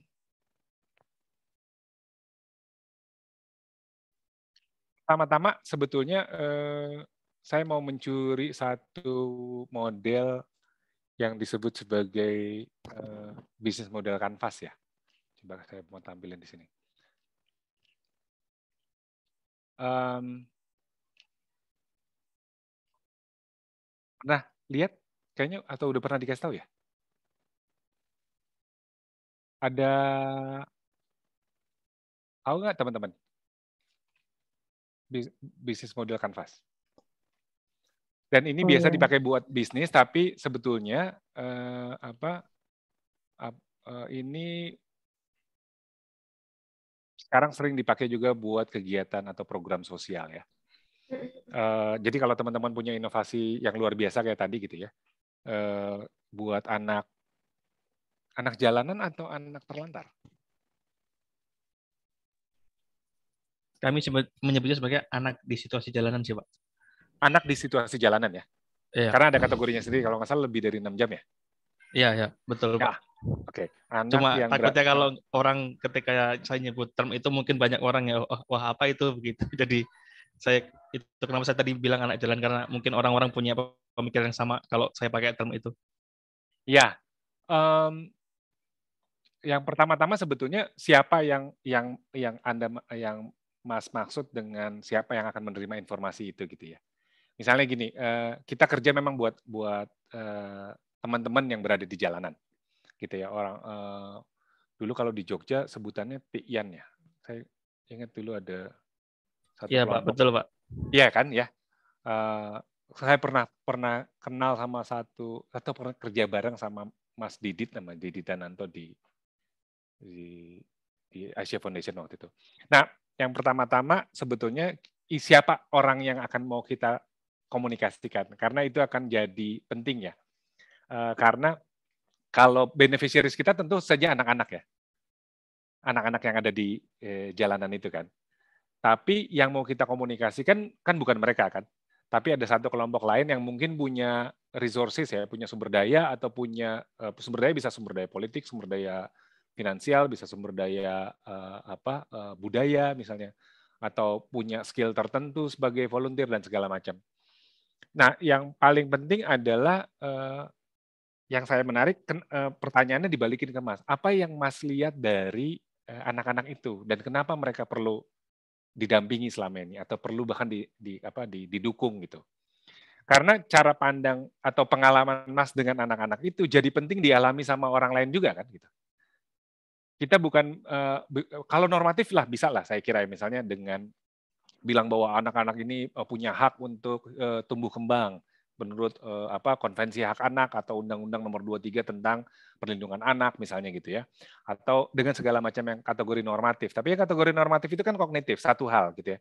Tapi menceritakan pengalaman Mas yang sampai bisa mendukung itu itu juga penting. Kenapa sih sampai tergerak? Kenapa sih sampai ikut di situ apa saja pengalaman sama anak-anak itu yang bukan hanya melihat mereka sebagai korban dari satu sistem yang mungkin tidak mendukung mereka gitu, tapi jangan-jangan mereka punya kontribusi tertentu gitu ya. Uh, saya ingat dulu ada film Daun di atas bantal atau yang ada tokohnya namanya Kancil ya. Gitu. Itu kan satu cerita lagi tentang anak ya, tapi itu satu sisi gitu, uh, satu cerita tentang anak. Tapi ada lagi sebenarnya satu cerita pendamping anak. Nah, saya saya beberapa kali ngobrol juga misalnya dengan beberapa kawan gitu ya. Uh, kalau kita punya program, eh, program bisa program sosial, program pembangunan atau program apa intervensi kebijakan misalnya gitu ya. Seringkali yang kita ceritain cuma beneficiariesnya aja kalau dalam hal ini misalnya anak gitu ya. Tapi eh, orang pendampingnya atau orang sebenarnya jadi teman anak itu atau orang yang kemudian bisa jadi bahkan dapat banyak pengetahuan baru dari dari apa yang didampingi itu kadang-kadang nggak ada ceritanya gitu. Eh, nah, jadi kita selalu bisa ngelihat dua sisi gitu bagaimana menerjemahkan pengalaman perasaan Mas ke dalam uh, cerita tentang tentang itu dan kenapa orang lain kemudian jadi bisa ikut tergerak itu bisa jadi satu opsi. Tapi cerita juga tentang Mas sebagai orang yang punya pengalaman khusus ke anak juga bisa satu sisi. Jadi saya kira uh, ya bukan tips ya tapi saya ngelihat ada beberapa kemungkinan story uh, cerita yang sebenarnya bisa ditawarin juga untuk ngelihat beberapa beberapa hal yang lain gitu dan nggak selalu bicara tentang hal yang hal yang dalam artian tersebut ter, tertentu menyedihkan tapi bahkan kita bisa ngerayain gitu ya. Uh, saya ingat saya barusan aja pagi tadi saya baca status uh, dari Mas Didit dan Nanto orang Jogja. Dia uh, cerita tentang satu kawan yang sekarang di Perancis yang udah menikah dulunya Tikian juga uh, atau ya dia dulu hidup di jalanan di Malioboro dan dia cerita tentang bagaimana hidupnya sekarang di Perancis di Paris punya udah punya istri punya anak dua uh, perempuan dua-duanya saya masih ingat baru-baru tadi pagi. Dan dia punya toko souvenir uh, barang-barang Indonesia bahkan ada becak di sana yang saya ingat gitu. Nah ini kan cerita tentang gimana anak-anak yang dulu di jalanan uh, bisa bisa jadi apa uh, bisa jadi dalam artian tertentu sukses gitu. Karena ceritanya tentang kemandirian membantu orang tua dan segala macam. Nah bukan hanya soal sisi kemanusiaan, tapi bagaimana dia ditampilkan supaya dia bisa jadi pengalaman, jadi pengalaman banyak orang juga gitu. Itu kali ya Mas untuk sementara. Atau mungkin teman-teman yang lain juga mungkin bisa punya tips untuk untuk pertanyaan yang sama. Silahkan.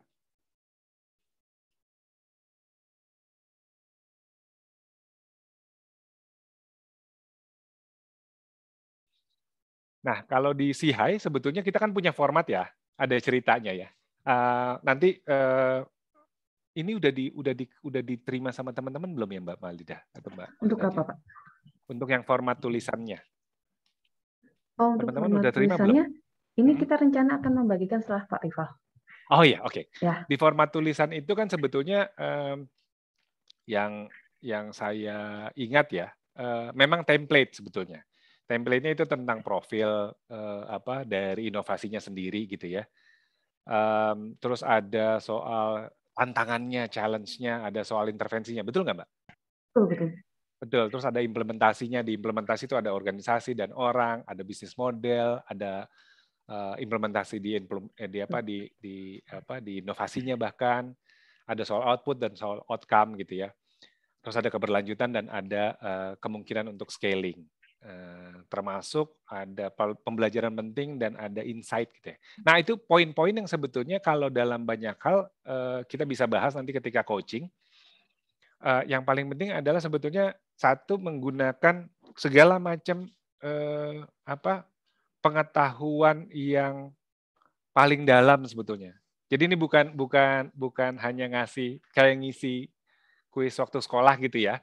Bukan diisi, oke, okay, profil organisasi gitu misalnya.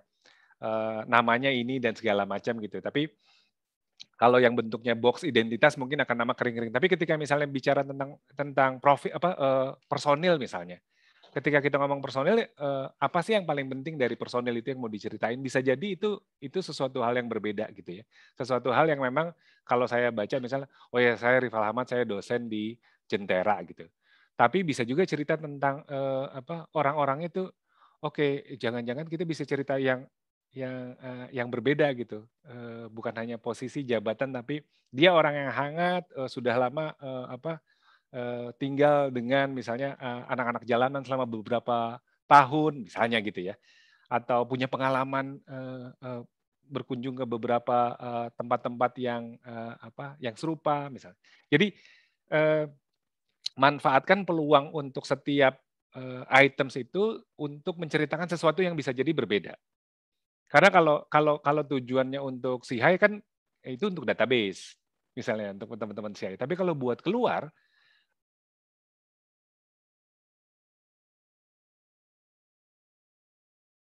Maaf Pak Rival, suaranya suara. Uh, suaranya nggak kedengeran. Kayaknya oh, audio. Sorry, ya, sudah. Terklik udah kedengeran lagi ya? Udah, udah, udah Pak. Iya, tadi sampai mana ya berarti yang kepotong? Sampai database.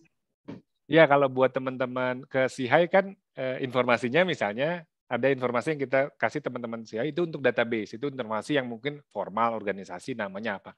Tapi ketika kita mau kabarkan ini keluar lewat lewat eh, berbagai media dan segala macam, ya jangan jangan sama gitu karena kalau database kan dia hanya kebutuhannya untuk eh, apa informasi Eh, tapi kalau ketika kita mengabarkan ke orang lain, maka dia bisa jadi dibentuk dalam dalam porsi yang lain.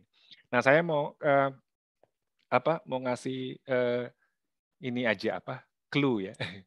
Eh, bahwa nanti pada saat coaching, misalnya kita akan coba untuk membuatnya jadi percobaan, misalnya untuk untuk apa? Um, bagian tertentu ya, misalnya untuk uh, challenge gitu, tantangan gitu. Tantangan apa sih dan dikemasnya apa sih? Kita bisa elaborasi. Tantangannya teman-teman apa aja? Bikin dulu brainstorming tadi. Jadi kita jangan langsung bikin cerita, tapi kita brainstorming uh, sama-sama begitu. Misalnya satu organisasi challenge apa? Tulis aja dulu sebanyak-banyaknya gitu. Kayak anak kecil yang bikin bikin apa dari penjepit kertas. Baru kita ambil kalau kita kombinasiin ini cerita mana yang mau kita tawarin ya.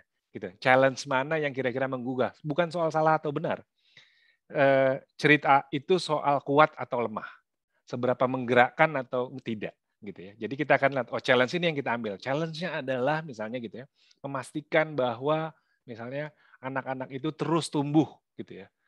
Eh, dan berkembang walaupun di jalanan misalnya gitu. Jadi misalnya ini salah salah satu uh, ini aja karangan saya. Tapi dari situ kan berarti ada cerita uh, misalnya ada nama di situ misalnya si eh, apa si Anto atau Dodi atau siapa gitu atau anak sekarang mungkin namanya bukan itu ya tapi cerita tentang tentang mereka gitu loh challenge yang dihadapi anak-anak ini apa gitu jadi ada banyak pilihan ketika kita nanti eh, masuk ke dalam satu satu kolom gitu ya.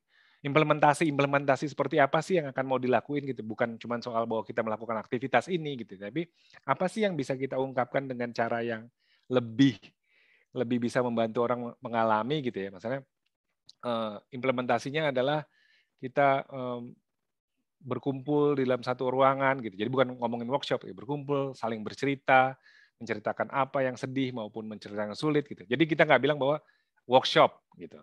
Nggak apa yang terjadi di dalam workshop. Apa yang terjadi dengan ketika misalnya uh, ngobrol sama nenek itu gitu. Apa yang terjadi misalnya ketika kita ngomong sama teman-teman LSL gitu.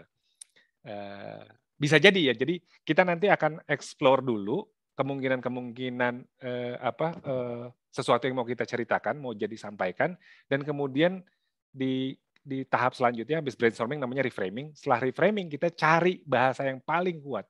Apakah kita menggunakan kata sedih atau kita menggunakan kata eh, menunda kegembiraan misalnya gitu ya. Ini karangan aja ya. Tapi eh, ada sesuatu yang bisa kita kita mulai kita kita mulai jadikan kegiatan menulis ini adalah kegiatan yang menyenangkan sebetulnya bisa jadi. Sulit gitu ya. Oh, iya, maaf. Maaf memotong. Saya kira sudah selesai. Mau menambahkan sedikit, sedikit aja, boleh, Rival. Boleh. Jadi mungkin mengamini dari apa yang sudah dipaparkan oleh Pak Rival tadi bahwa awalnya kenapa tadi kok template-nya belum kami bagikan? Sebenarnya uh, kamu itu berharap bahwa nanti biar nggak kaget Pak Rival. Kayak sudah, aduh, ini list apa? Minimal 700 kata dan lain-lain. Itu akan uh, kita lebih ke mencoba memulainya seperti yang Bapak bilang tadi adalah kita mulai dengan brainstormingnya dulu. Jadi nanti dokumen awal yang kita akan bagikan sebenarnya lebih ke memicu kawan uh, Bapak Ibu semua untuk kayak merefleksikan apa yang sudah dilakukan. Jadi ada kan ada beberapa pertanyaan, banyak pertanyaan sebenarnya yang kemudian kita harap nanti akan dituliskan. Salah satunya contohnya adalah terkait uh, pembiayaan.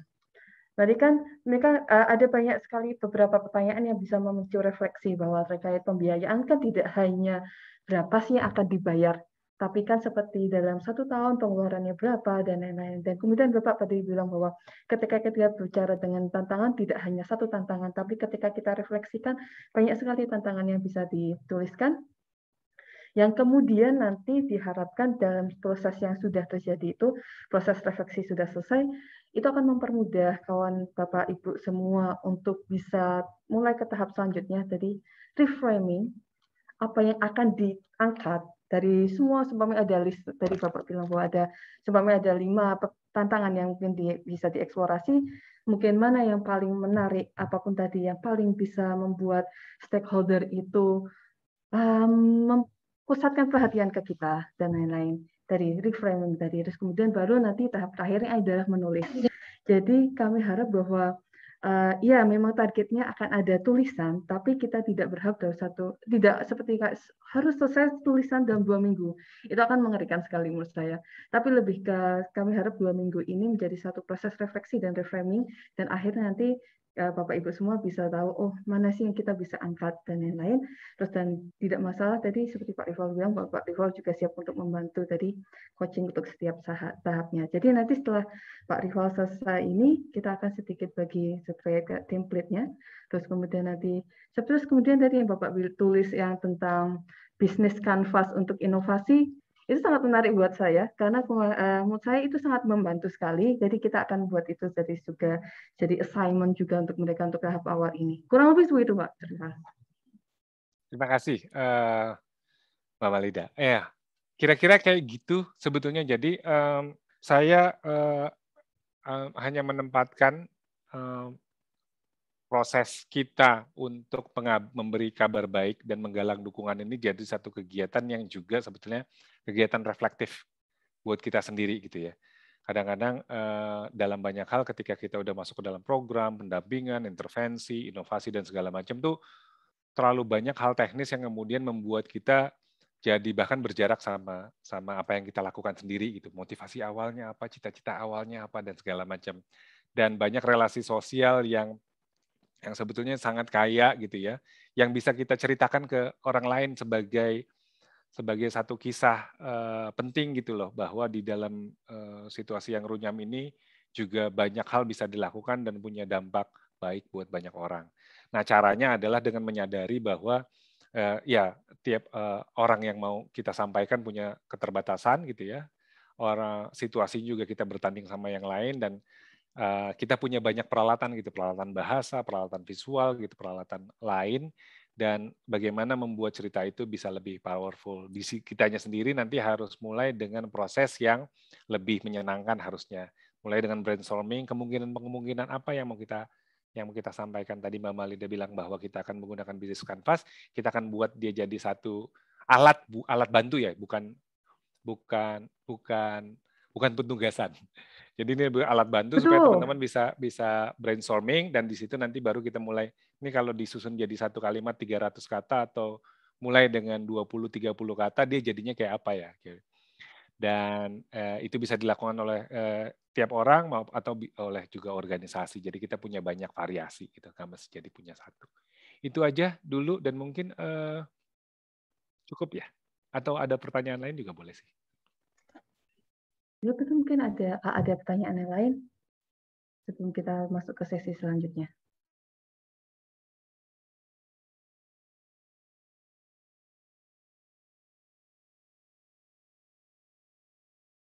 Oke, seperti ada. Kalau begitu mungkin kita lanjut ke penjelasan penugasan ya Pak Rival. Jadi mungkin nanti pertanyaan akan muncul ketika mungkin mereka sudah melakukan refleksi dan lain-lain dan nanti feel free untuk berkomunikasi dengan mentor masing-masing. Terus kemudian di sini saya izin untuk take over sebentar ya Pak Rival ya. Sip, terima okay. kasih banyak uh, buat teman-teman sekalian sudah ya, mendengarkan. Pak Rival.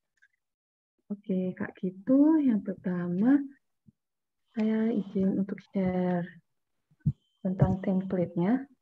Uh, mungkin sudah terlihat ya. Uh, sebenarnya sudah dijelaskan oleh Pak Ival juga terkait kemudian kemarin dengan uh, ilmu yang sudah diberikan oleh kedua mentor sebelumnya juga. Uh, yang kami harapkan dalam satu minggu ini sebenarnya Bapak dan Ibu adalah melakukan suatu refleksi terkait apa yang sudah dilakukan. Karena tentu setelah uh, mungkin karena terlalu fokus, uh, sangat fokus untuk menjalankan implementasinya, terkadang kita terlupa untuk melakukan dokumentasi ataupun kayak seperti merefleksikan kembali apa sih yang sudah dilakukan dan kemudian uh, apa sih yang ternyata belum terpikirkan untuk kira-kira di sini ada banyak pertanyaan ini tampaknya seperti pertanyaan wawancara ya, tapi di situ yang kita harapkan bahwa sepertinya uh, bahwa ini pertanyaan untuk menanyai uh, diri Bapak Ibu semua dan tadi ada kita bagi beberapa uh, sek, apa ya bagian pertanyaan. Yang pertama adalah pertanyaan untuk pimpinan atau anggota senior inovasi. Maksud di sini adalah orang yang memang tahu terkait inovasinya. Biasa uh, yang mungkin sudah ber, dari awal sampai akhir sampai saat ini bergabung ataupun memang bagian dari manajemennya dan lain-lain dan tentu ini di bisa dijawab bersama-sama ya, bukan maksudnya ini adalah satu tipenya seperti wawancara kemudian dituliskan oleh satu orang. Nanti silahkan, ini mau dijawab di bawahnya atau harus kemudian uh, mau di halaman yang lainnya silahkan nanti kita sudah sediakan setiap hmm, setiap tim itu kita sudah siapkan dokumennya dan kita minta tolong untuk nanti Bapak dan Ibu mengisinya di dokumen sudah diisi. Mengapa? Biar bisa uh, mempermudah mentor juga untuk mengobservasi, untuk mengecek uh, progresnya dan lain-lain. Jadi uh, Kak bisa di Kak semua mau dikerjakan dulu offline terus kemudian di copy paste di sini di template ini tidak masalah. Nanti kita setelah acara ini kita akan bagikan tautan untuk setiap tim. Jadi satu ini contohnya adalah uh, ada tantangan, pertanyaan tentang tantangan itu apa, solusinya apa, dari penerima manfaat seperti apa, struktur organisasinya, dari karyawannya, pendanaannya, terus kemudian teknologi atau produk yang ditawarkan oleh inovasi Bapak Ibu, terus kemudian iklim organisasinya seperti apa. Dan ini cukup banyak. Eh, jadi kami harap dalam satu minggu ini memang menjadi satu proses refleksi. Tentu akan eh, apakah nanti jawabannya ala kadarnya atau mungkin sedetail mungkin, ya tentu kami harapkan bahwa itu bisa selengkap mungkin. Kayak tadi Sumpamanya memang tantangan, memang nggak tantangannya ada lima ataupun sepuluh, silahkan tuliskan semuanya. Bukan berarti ini pertanyaan yang uh, ini lebih ke style pertanyaannya adalah yang terbuka. Jadi uh, mau ditulis dalam satu paragraf untuk satu pertanyaan itu silahkan. Jadi ini seperti pemicu saja. Lalu kemudian di sini kita ada sektor bagian dua adalah pertanyaannya ini lebih ke sebenarnya diarahkan ke orang-orang yang melaksanakan di lapangan. Contohnya uh, yang kemudian apabila di harapan Vian itu adalah mungkin edukatornya atau mungkin yang melaksanakan perusahaan di uh, di posyandu tersebut kurang lebih seperti itu. Nah nanti bisa bapak ibu itu menanyakan ke mereka. tentang biar mereka itu juga curhat tentang dinamika yang ada, lalu persepsi mereka bekerja di situ bagaimana, berpartisipasi di organisasi inovasi itu seperti apa, terus kemudian persepsi mereka dan harapan mereka itu seperti apa. Menurut saya ini akan memperkaya perspektif Bapak dan Ibu nanti. Jadi tidak hanya perspektif dari pengelola, tapi juga perspektif dari orang yang selama ini membantu kita menjalankan inovasi itu terus berjalan. Terus kemudian dari yang terakhir itu ada sisi yang menerima benefit, yang menerima manfaatnya. Di sini contohnya seumpamanya uh, tadi kalau dari mungkin Vesta adalah orang-orang yang melakukan tes HIV ketika melakukan community outreach itu bisa ditanyai. Kemudian oh uh, mungkin tidak hanya satu, Kak Sumamanya memang memungkinkan untuk bisa menanyai lebih dari satu, mungkin lima, itu akan lebih memperkaya perspektif juga bahwa oke okay, sama ini positif kok responnya menyenangkan, bermanfaat, tapi bermanfaatnya di mana? Terus kemudian apakah kemudian uh, Vesta sudah melakukan outreach-nya di daerah yang tertentu titik apa di area uh, apa populasi kunci. Tapi apakah memang kemudian dari orang-orang yang menerima benefit itu ternyata mereka sudah cukup mudah untuk mengaksesnya? Atau ternyata mereka punya cerita sendiri bahwa itu masih mendapatkan tantangan? Dan itu menjadi satu hal yang bisa membantu kita nanti uh, untuk kayak kembali lagi mereframingkan seperti yang Pak Rival tadi bilang bahwa kami harapkan ini tidak hanya menuliskan apa yang positif tapi kekurangannya juga. Jadi maksud saya di sini jangan kami harap jangan oh ini yang positif positif saja biar tempat tulisannya nanti bagus dan lain-lain. Kalau kami harap bahwa kalau di tulisan itu kita tentu kita tahulah tidak semuanya itu sempurna, tidak semuanya itu uh, memberikan cerita yang manis, tapi kan tentu ada tantangannya. Terus kemudian uh, tentang apa sih bantuan apa yang dibutuhkan, support apa yang dibutuhkan oleh orang inovasi Bapak Ibu sekalian, itu semua bisa dituliskan di sini juga. Jadi Kak Sumpamanya tadi ada dari penerima manfaat menceritakan tentang tantangannya, ternyata tidak semudah itu untuk mendapatkan akses inovasi Bapak Ibu semua. Terus kemudian ternyata biayanya masih terlalu mahal jika ada biayanya, kemudian dan lain-lain itu bisa terefleksikan di sini. Jadi untuk yang tahap terakhir ini yang C itu akan uh, alangkah baiknya kalau seumpamanya nanti uh, ada beberapa jadi yang pertama penerima benefit terus kemudian ternyata Kak Sum salah satu penerima benefitnya itu adalah anak-anak orang tuanya juga bisa ditanyai terus kemudian nanti atau enggak nanti ada ketua PKK-nya yang bisa ditanya juga yang kemudian ataupun Bu RT, Bu RW-nya yang bisa ternyata yang support posyandu itu di tempatnya kemudian ditanya juga. Jadi di sini informasi akan lebih kaya ketika memang inisiatifnya juga semakin banyak dari Bapak dan Ibu semua. Dan nanti kebaliknya juga, Kak Sumpamanya nanti ini apa pertanyaan ini juga hanya dijawab secara ala kadarnya, nanti juga akan membatasi Bapak Ibu juga dalam penulisan semakin lengkap nanti akan Bapak Ibu punya opsi yang lebih banyak untuk bercerita. Kurang lebih seperti itu. Yang kedua adalah tentang tadi uh, kanvas tadi ya, yang yang kanvas dan itu sebenarnya adalah bukan ide yang bagus dan ini rencananya tadi sebenarnya tidak ada um, untuk melakukan apa ya pengisian kanvas itu, tapi menurut saya ini adalah satu awal yang baik yaitu silahkan nanti apakah Bapak Ibu mau wawancarai duluan kemudian baru mengisi kanvas ini ataupun sebaliknya menulis dulu terus kemudian baru nanti interview setelah interview dilihat lagi apakah kanvasnya itu sama dengan apa yang persuasi Bapak dan Ibu tulis atau ternyata oh ternyata yang ternyata saya salah ya ternyata penikmat inovasi saya itu ternyata tidak hanya A tapi juga A B C D E itu jadi nanti bisa memperkaya juga. Jadi harapan kami adalah setelah mengisi Canva, melakukan interview, terus kemudian kembali lagi ke Canva-nya, kanvas ini. Apakah memang sudah sesuai atau mungkin bisa ternyata bisa lebih perkaya dan lain-lain. Nanti kembali lagi template-nya akan kami siapkan dan kami harap bahwa Bapak Ibu juga bisa mengisi semuanya di situ di dokumen itu agar nanti Pak Rival, Pak Yodi dan Prof Ari bisa dengan mudah membacanya. Lalu Selain itu kami ingin melakukan sedikit perubahan terkait dengan mentoringnya. Sebentar, saya share lagi. Sebenarnya tidak banyak berubah, tapi sedikit ada adjustment terkait siapa mementoring siapa. Di sini kami akan memperbarui dokumennya nanti, tapi mungkin bisa dilihat terlebih dahulu bahwa nanti Prof. Ari akan mendampingi dari tugas Sawit, Harapan Fian, dan Suabantu Luhur Jiwo. Terus kemudian Pak Yodi di sini akan fokus ke Sekoci, Vesta, dan kemudian ada Dibi. Dan kemudian Pak Rival itu untuk Yayasan Kesehatan untuk Semua, Indonesia Ramah Lansia, dan Klan Air Siap Minum Telaga.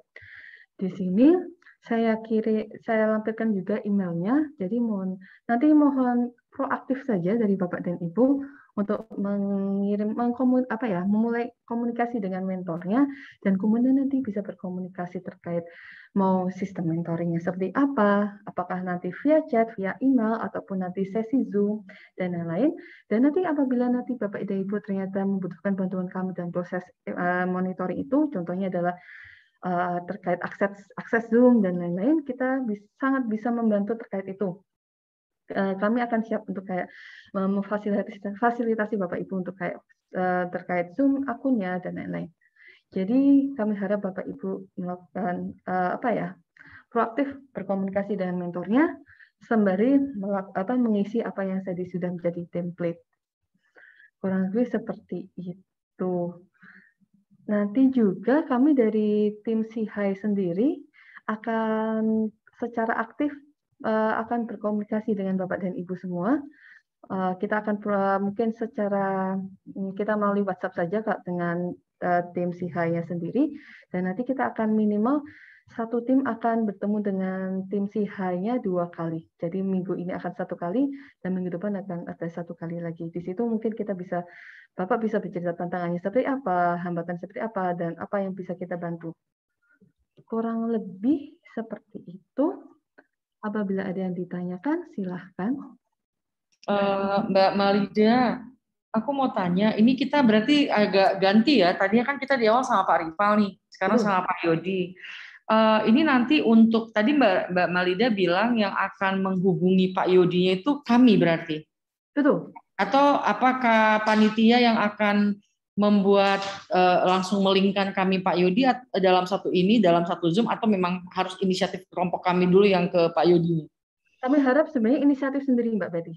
Jadi hmm. kami sudah mengkomunikasikan ke mentor-mentor itu. Jadi seperti Pak Yudi kita sudah menginformasikan bahwa Zero TV akan dimentori oleh beliau dan lain-lain. Namun kan untuk kayak uh, terkait dengan kesibukan beliau dan kemudian mau seintens apa mendampingi mentinya itu akan menjadi kesepakatan kedua pihak. Jadi umpamanya ternyata dari Zero TV membutuhkan uh, intensitasnya tidak terlalu sering, seumpamanya seperti itu bisa jalan sendiri dan kemudian nanti mungkin minta feedback saja dan mungkin bisa dilakukan secara uh, feedback dokumen Google Doc atau mungkin dengan via email itu mungkin saja kan Mbak. Jadi di situ hmm. kita benar-benar mempersilahkan itu kalau seumpamanya nanti kembali lagi sudah ada kesepakatan oh nanti akan ada via Zoom minimal dua kali dan kemudian nanti mungkin bisa jadwalnya sudah disesuaikan secara teknis kita akan support kurang lebih kayak gitu Mbak Betty. Oke, ada satu dokumen yang harus kami serahkan ke panitia, misalnya setiap kita kontak Pak Yodi mengupdate panitia gitu, atau gimana? Kayak model seperti absensi atau segala macam begitu? Oke, terkait itu seperti logbook ya Mbak Betty? Iya betul, kayak logbook itu misalnya kita eh, pertemuan pertama sama Pak Yodi itu diarahkannya ini gitu, jadi pastinya bisa dokumentasinya biar jelas gitu. Ya, ya. Kayak nanti kita daripada setiap bimbingan. Oh. Siap. Uh, itu ide yang bagus sekali. Nanti kita siapkan Mbak, Mbak juga terkait itu. Jadi Uh, yang pertama kita akan sediakan logbooknya tadi bahwa sebenarnya lebih ke kayak tanggal dan kemudian sudah berkomunikasi belum, terus kemudian nanti progres komunikasinya seperti apa, terus kemudian apa. Jadi di situ kita bisa melihat juga dari progres setiap tim tentu akan berbeda dan nanti kita bisa ikuti dari step uh, dari kecepatan dari setiap tim. Terus kemudian nanti juga kita akan via yang apa monitoring dengan Sihai tim Sihai itu yang dilaksanakan dua kali dalam satu dua minggu ini kita juga akan uh, melakukan apa ya tracking progress dari situ. Jadi ada dua nanti Mbak Betty. Begitu Mbak Betty? Siap Mbak Malida. Oke, mulai kasih. kapan bisa mulai bergerilnya? Uh, sebenarnya hari ini juga bisa. Oh, siap. Pada akhirnya, uh, ya, Pak Rival dan Pak Yudi dan Prof. Ari sudah kami informasikan. Hmm. Jadi dan sudah kita tanyakan tentang preferensi dan mereka lebih ke preferensinya adalah uh, berkomunikasi dengan email untuk awal ini. Nanti Kak semua ada persetujuan yang lain antara via selama mentoring itu akan silahkan. Tapi untuk saat ini jadi berkelia mulai email mau kontaknya bisa mulai dari hari ini. Oh, kontak berarti ini lewat email dulu ya? Betul, lewat email dulu. Oh gitu, oh siap. Ya. Ada yang lainnya mungkin? Dan feel free nanti Kak semuanya ada pertanyaan umum, bisa japri kami ataupun bisa di WAG dari semua yang berisi semua tim. Jadi nanti semuanya dari ada informasi yang dirasa nanti juga bermanfaat bagi yang lainnya bisa ditanyakan di WAG tersebut saja. Jika tidak ada, kurang lebih seperti itu, kami minta minta waktunya nanti untuk uh, merapikan dokumennya tadi kami sudah deskripsikan tadi dalam satu uh, satu folder siap tim akan ada satu folder dan kemudian nanti akan kita bagikan dan nanti uh, semua mentor sebenarnya akan mendapatkan akses untuk semua dokumen karena dari kesepakatan mentor sendiri mereka nanti juga bisa eh, biar bisa melakukan interaksi. Jadi seumpamanya Pak Rival bisa mengkonsultasikan apa yang menjadi permasalahan di, di proses mentoringnya dengan salah satu tim ke Prof Ari dan Prof Pak Yudi dan sebaliknya. Itu yang membuat harapan kami kalau nanti uh, semuanya tersimpan dalam Google dokumen itu dengan baik, itu akan mempermudah proses komunikasinya. Jika tidak ada pertanyaan, sepertinya seperti itu aja. Dari Pak Rifal mungkin ada yang mau ditambahkan? Kayaknya ada pertanyaan di teks deh. Oh, ada. di chat. Muncul. Oke. Okay.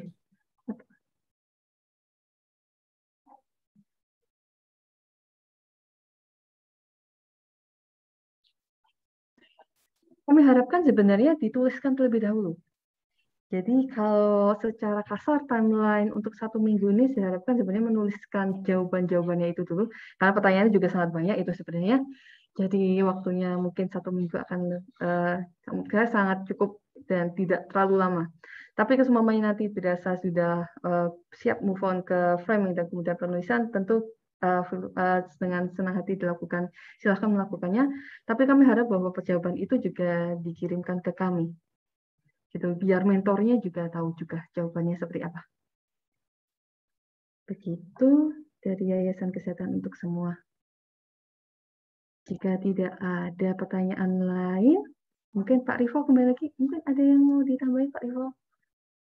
Ya um, saya uh, kalau yang terkait pertanyaan yang terakhir biar nyambung dulu uh, tadi saya saya kasih kanvas yang tadi disebutin sama Mbak uh, Malida, tapi saya sesuaikan untuk eh, kebutuhan teman-teman gitu ya.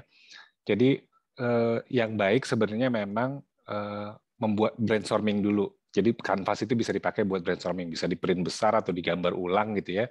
Terus pakai post-it, tempel-tempelin aja di situ gitu menggunakan post-it ya. Jadi itu nanti jadi alat bantu buat teman-teman eksplorasi kira-kira eh, apa untuk menjawab pertanyaan kita sebenarnya punya punya kekayaan pengetahuan dan mana yang mau dipilih dan disampaikan dengan cara yang paling maksimal gitu ya.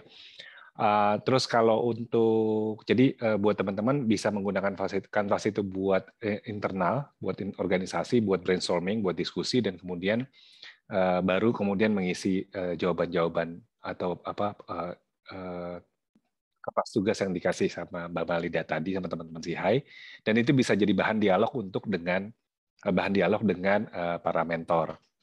Nah, buat beberapa hal kami kami para mentor juga uh, sadar bahwa kayaknya pengetahuan saya, pengetahuan Pak Yodi dan pengetahuan Bu Ari, apalagi pengetahuan saya gitu ya, uh, apa uh, bisa jadi berbeda gitu ya. Jadi bagaimana membuat membuat para menti ini atau teman-teman gini, para inovator ini juga bisa punya akses yang sama ke ke yang lain gitu ya. Nanti uh, bisa jadi kalau ada pertanyaan buat Pak Yodi atau Bu Ari bisa disampaikan lewat saya gitu ya. Saya kemudian tanyain dan kemudian informasi atau jawabannya nanti bisa saya apa, sampaikan langsung. Begitu juga kalau misalnya mau ada pertanyaan ke saya gitu ya, ada beberapa contoh atau kasus atau segala macam misalnya atau mau diskusi gitu ya, silakan disampaikan ke mentornya dan mungkin nanti bisa disampaikan atau disampaikan ke Mbak Lida juga boleh sih sebetulnya ya. tapi saya agak curiga uh, apa teman-teman CHI sekretariat ini nanti jadi memang apa uh, backlog gitu loh banyak sekali akan informasi masuk jadi jangan satu pintu lah kira-kira kalau bisa sampaikan ke mentor bisa ke sekretariat juga bisa dan mungkin uh, kalau mau nyolek-nyolek kasih kode ke saya juga uh, silakan. Cuma pasti saya akan punya konsentrasi terutama ke yang mentor uh, saya menti saya ya. Jadi yang paling penting gimana caranya punya ngasih biar fairness lah. Karena pengetahuan saya pasti terutama yang dapat menti saya kan juga butuh pengetahuan Bu Ari dan Pak Yodi gitu. Jadi biar kita bisa dapat dapat semuanya secara fair ya. Gitu. Terima kasih. Terima kasih Pak Rival masukan sangat, sangat bagus dan sangat ya sangat lengkap dan bermanfaat terima kasih kurang lebih seperti itu. Kembali lagi sekali lagi sebelum kita tutup, mungkin ada pertanyaan tambahan? Kalau tidak ada, kami akan tutup. Jadi saya serahkan ke Nadia lagi.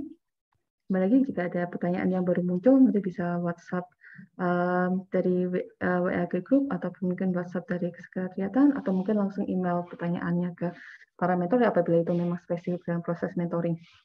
Gitu. Kalau tidak ada, silahkan aja saya serahkan ke Mbak Oke, okay, Mbak Malida, terima kasih. Terima kasih juga untuk Pak Rival untuk sesi workshopnya.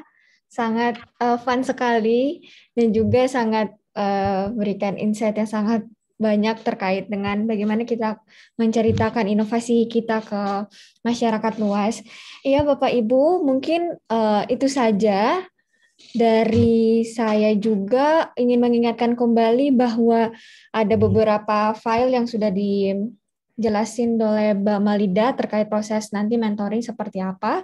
Dan kemudian terkait absensi, mungkin Bapak Ibu bisa uh, mengisi lagi bagi yang belum mengisi supaya kita bisa tahu uh, Bapak Ibu uh, kehadiran Bapak Ibu apakah dari workshop 1 sampai workshop 3 sudah terpenuhi sehingga kita bisa membantu oleh uh, membantu follow up terkait uh, video Zoom-nya atau de dengan uh, materinya dari workshop 1 sampai workshop ketiga. Mungkin itu aja dari saya.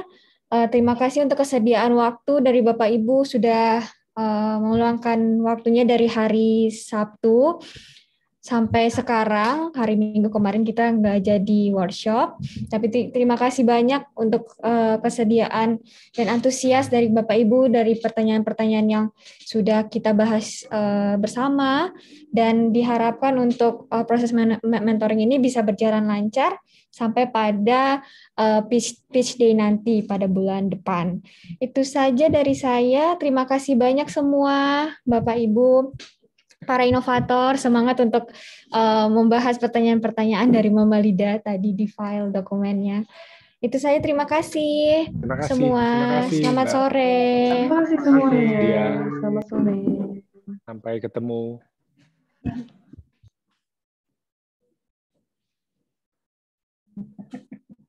Yeah.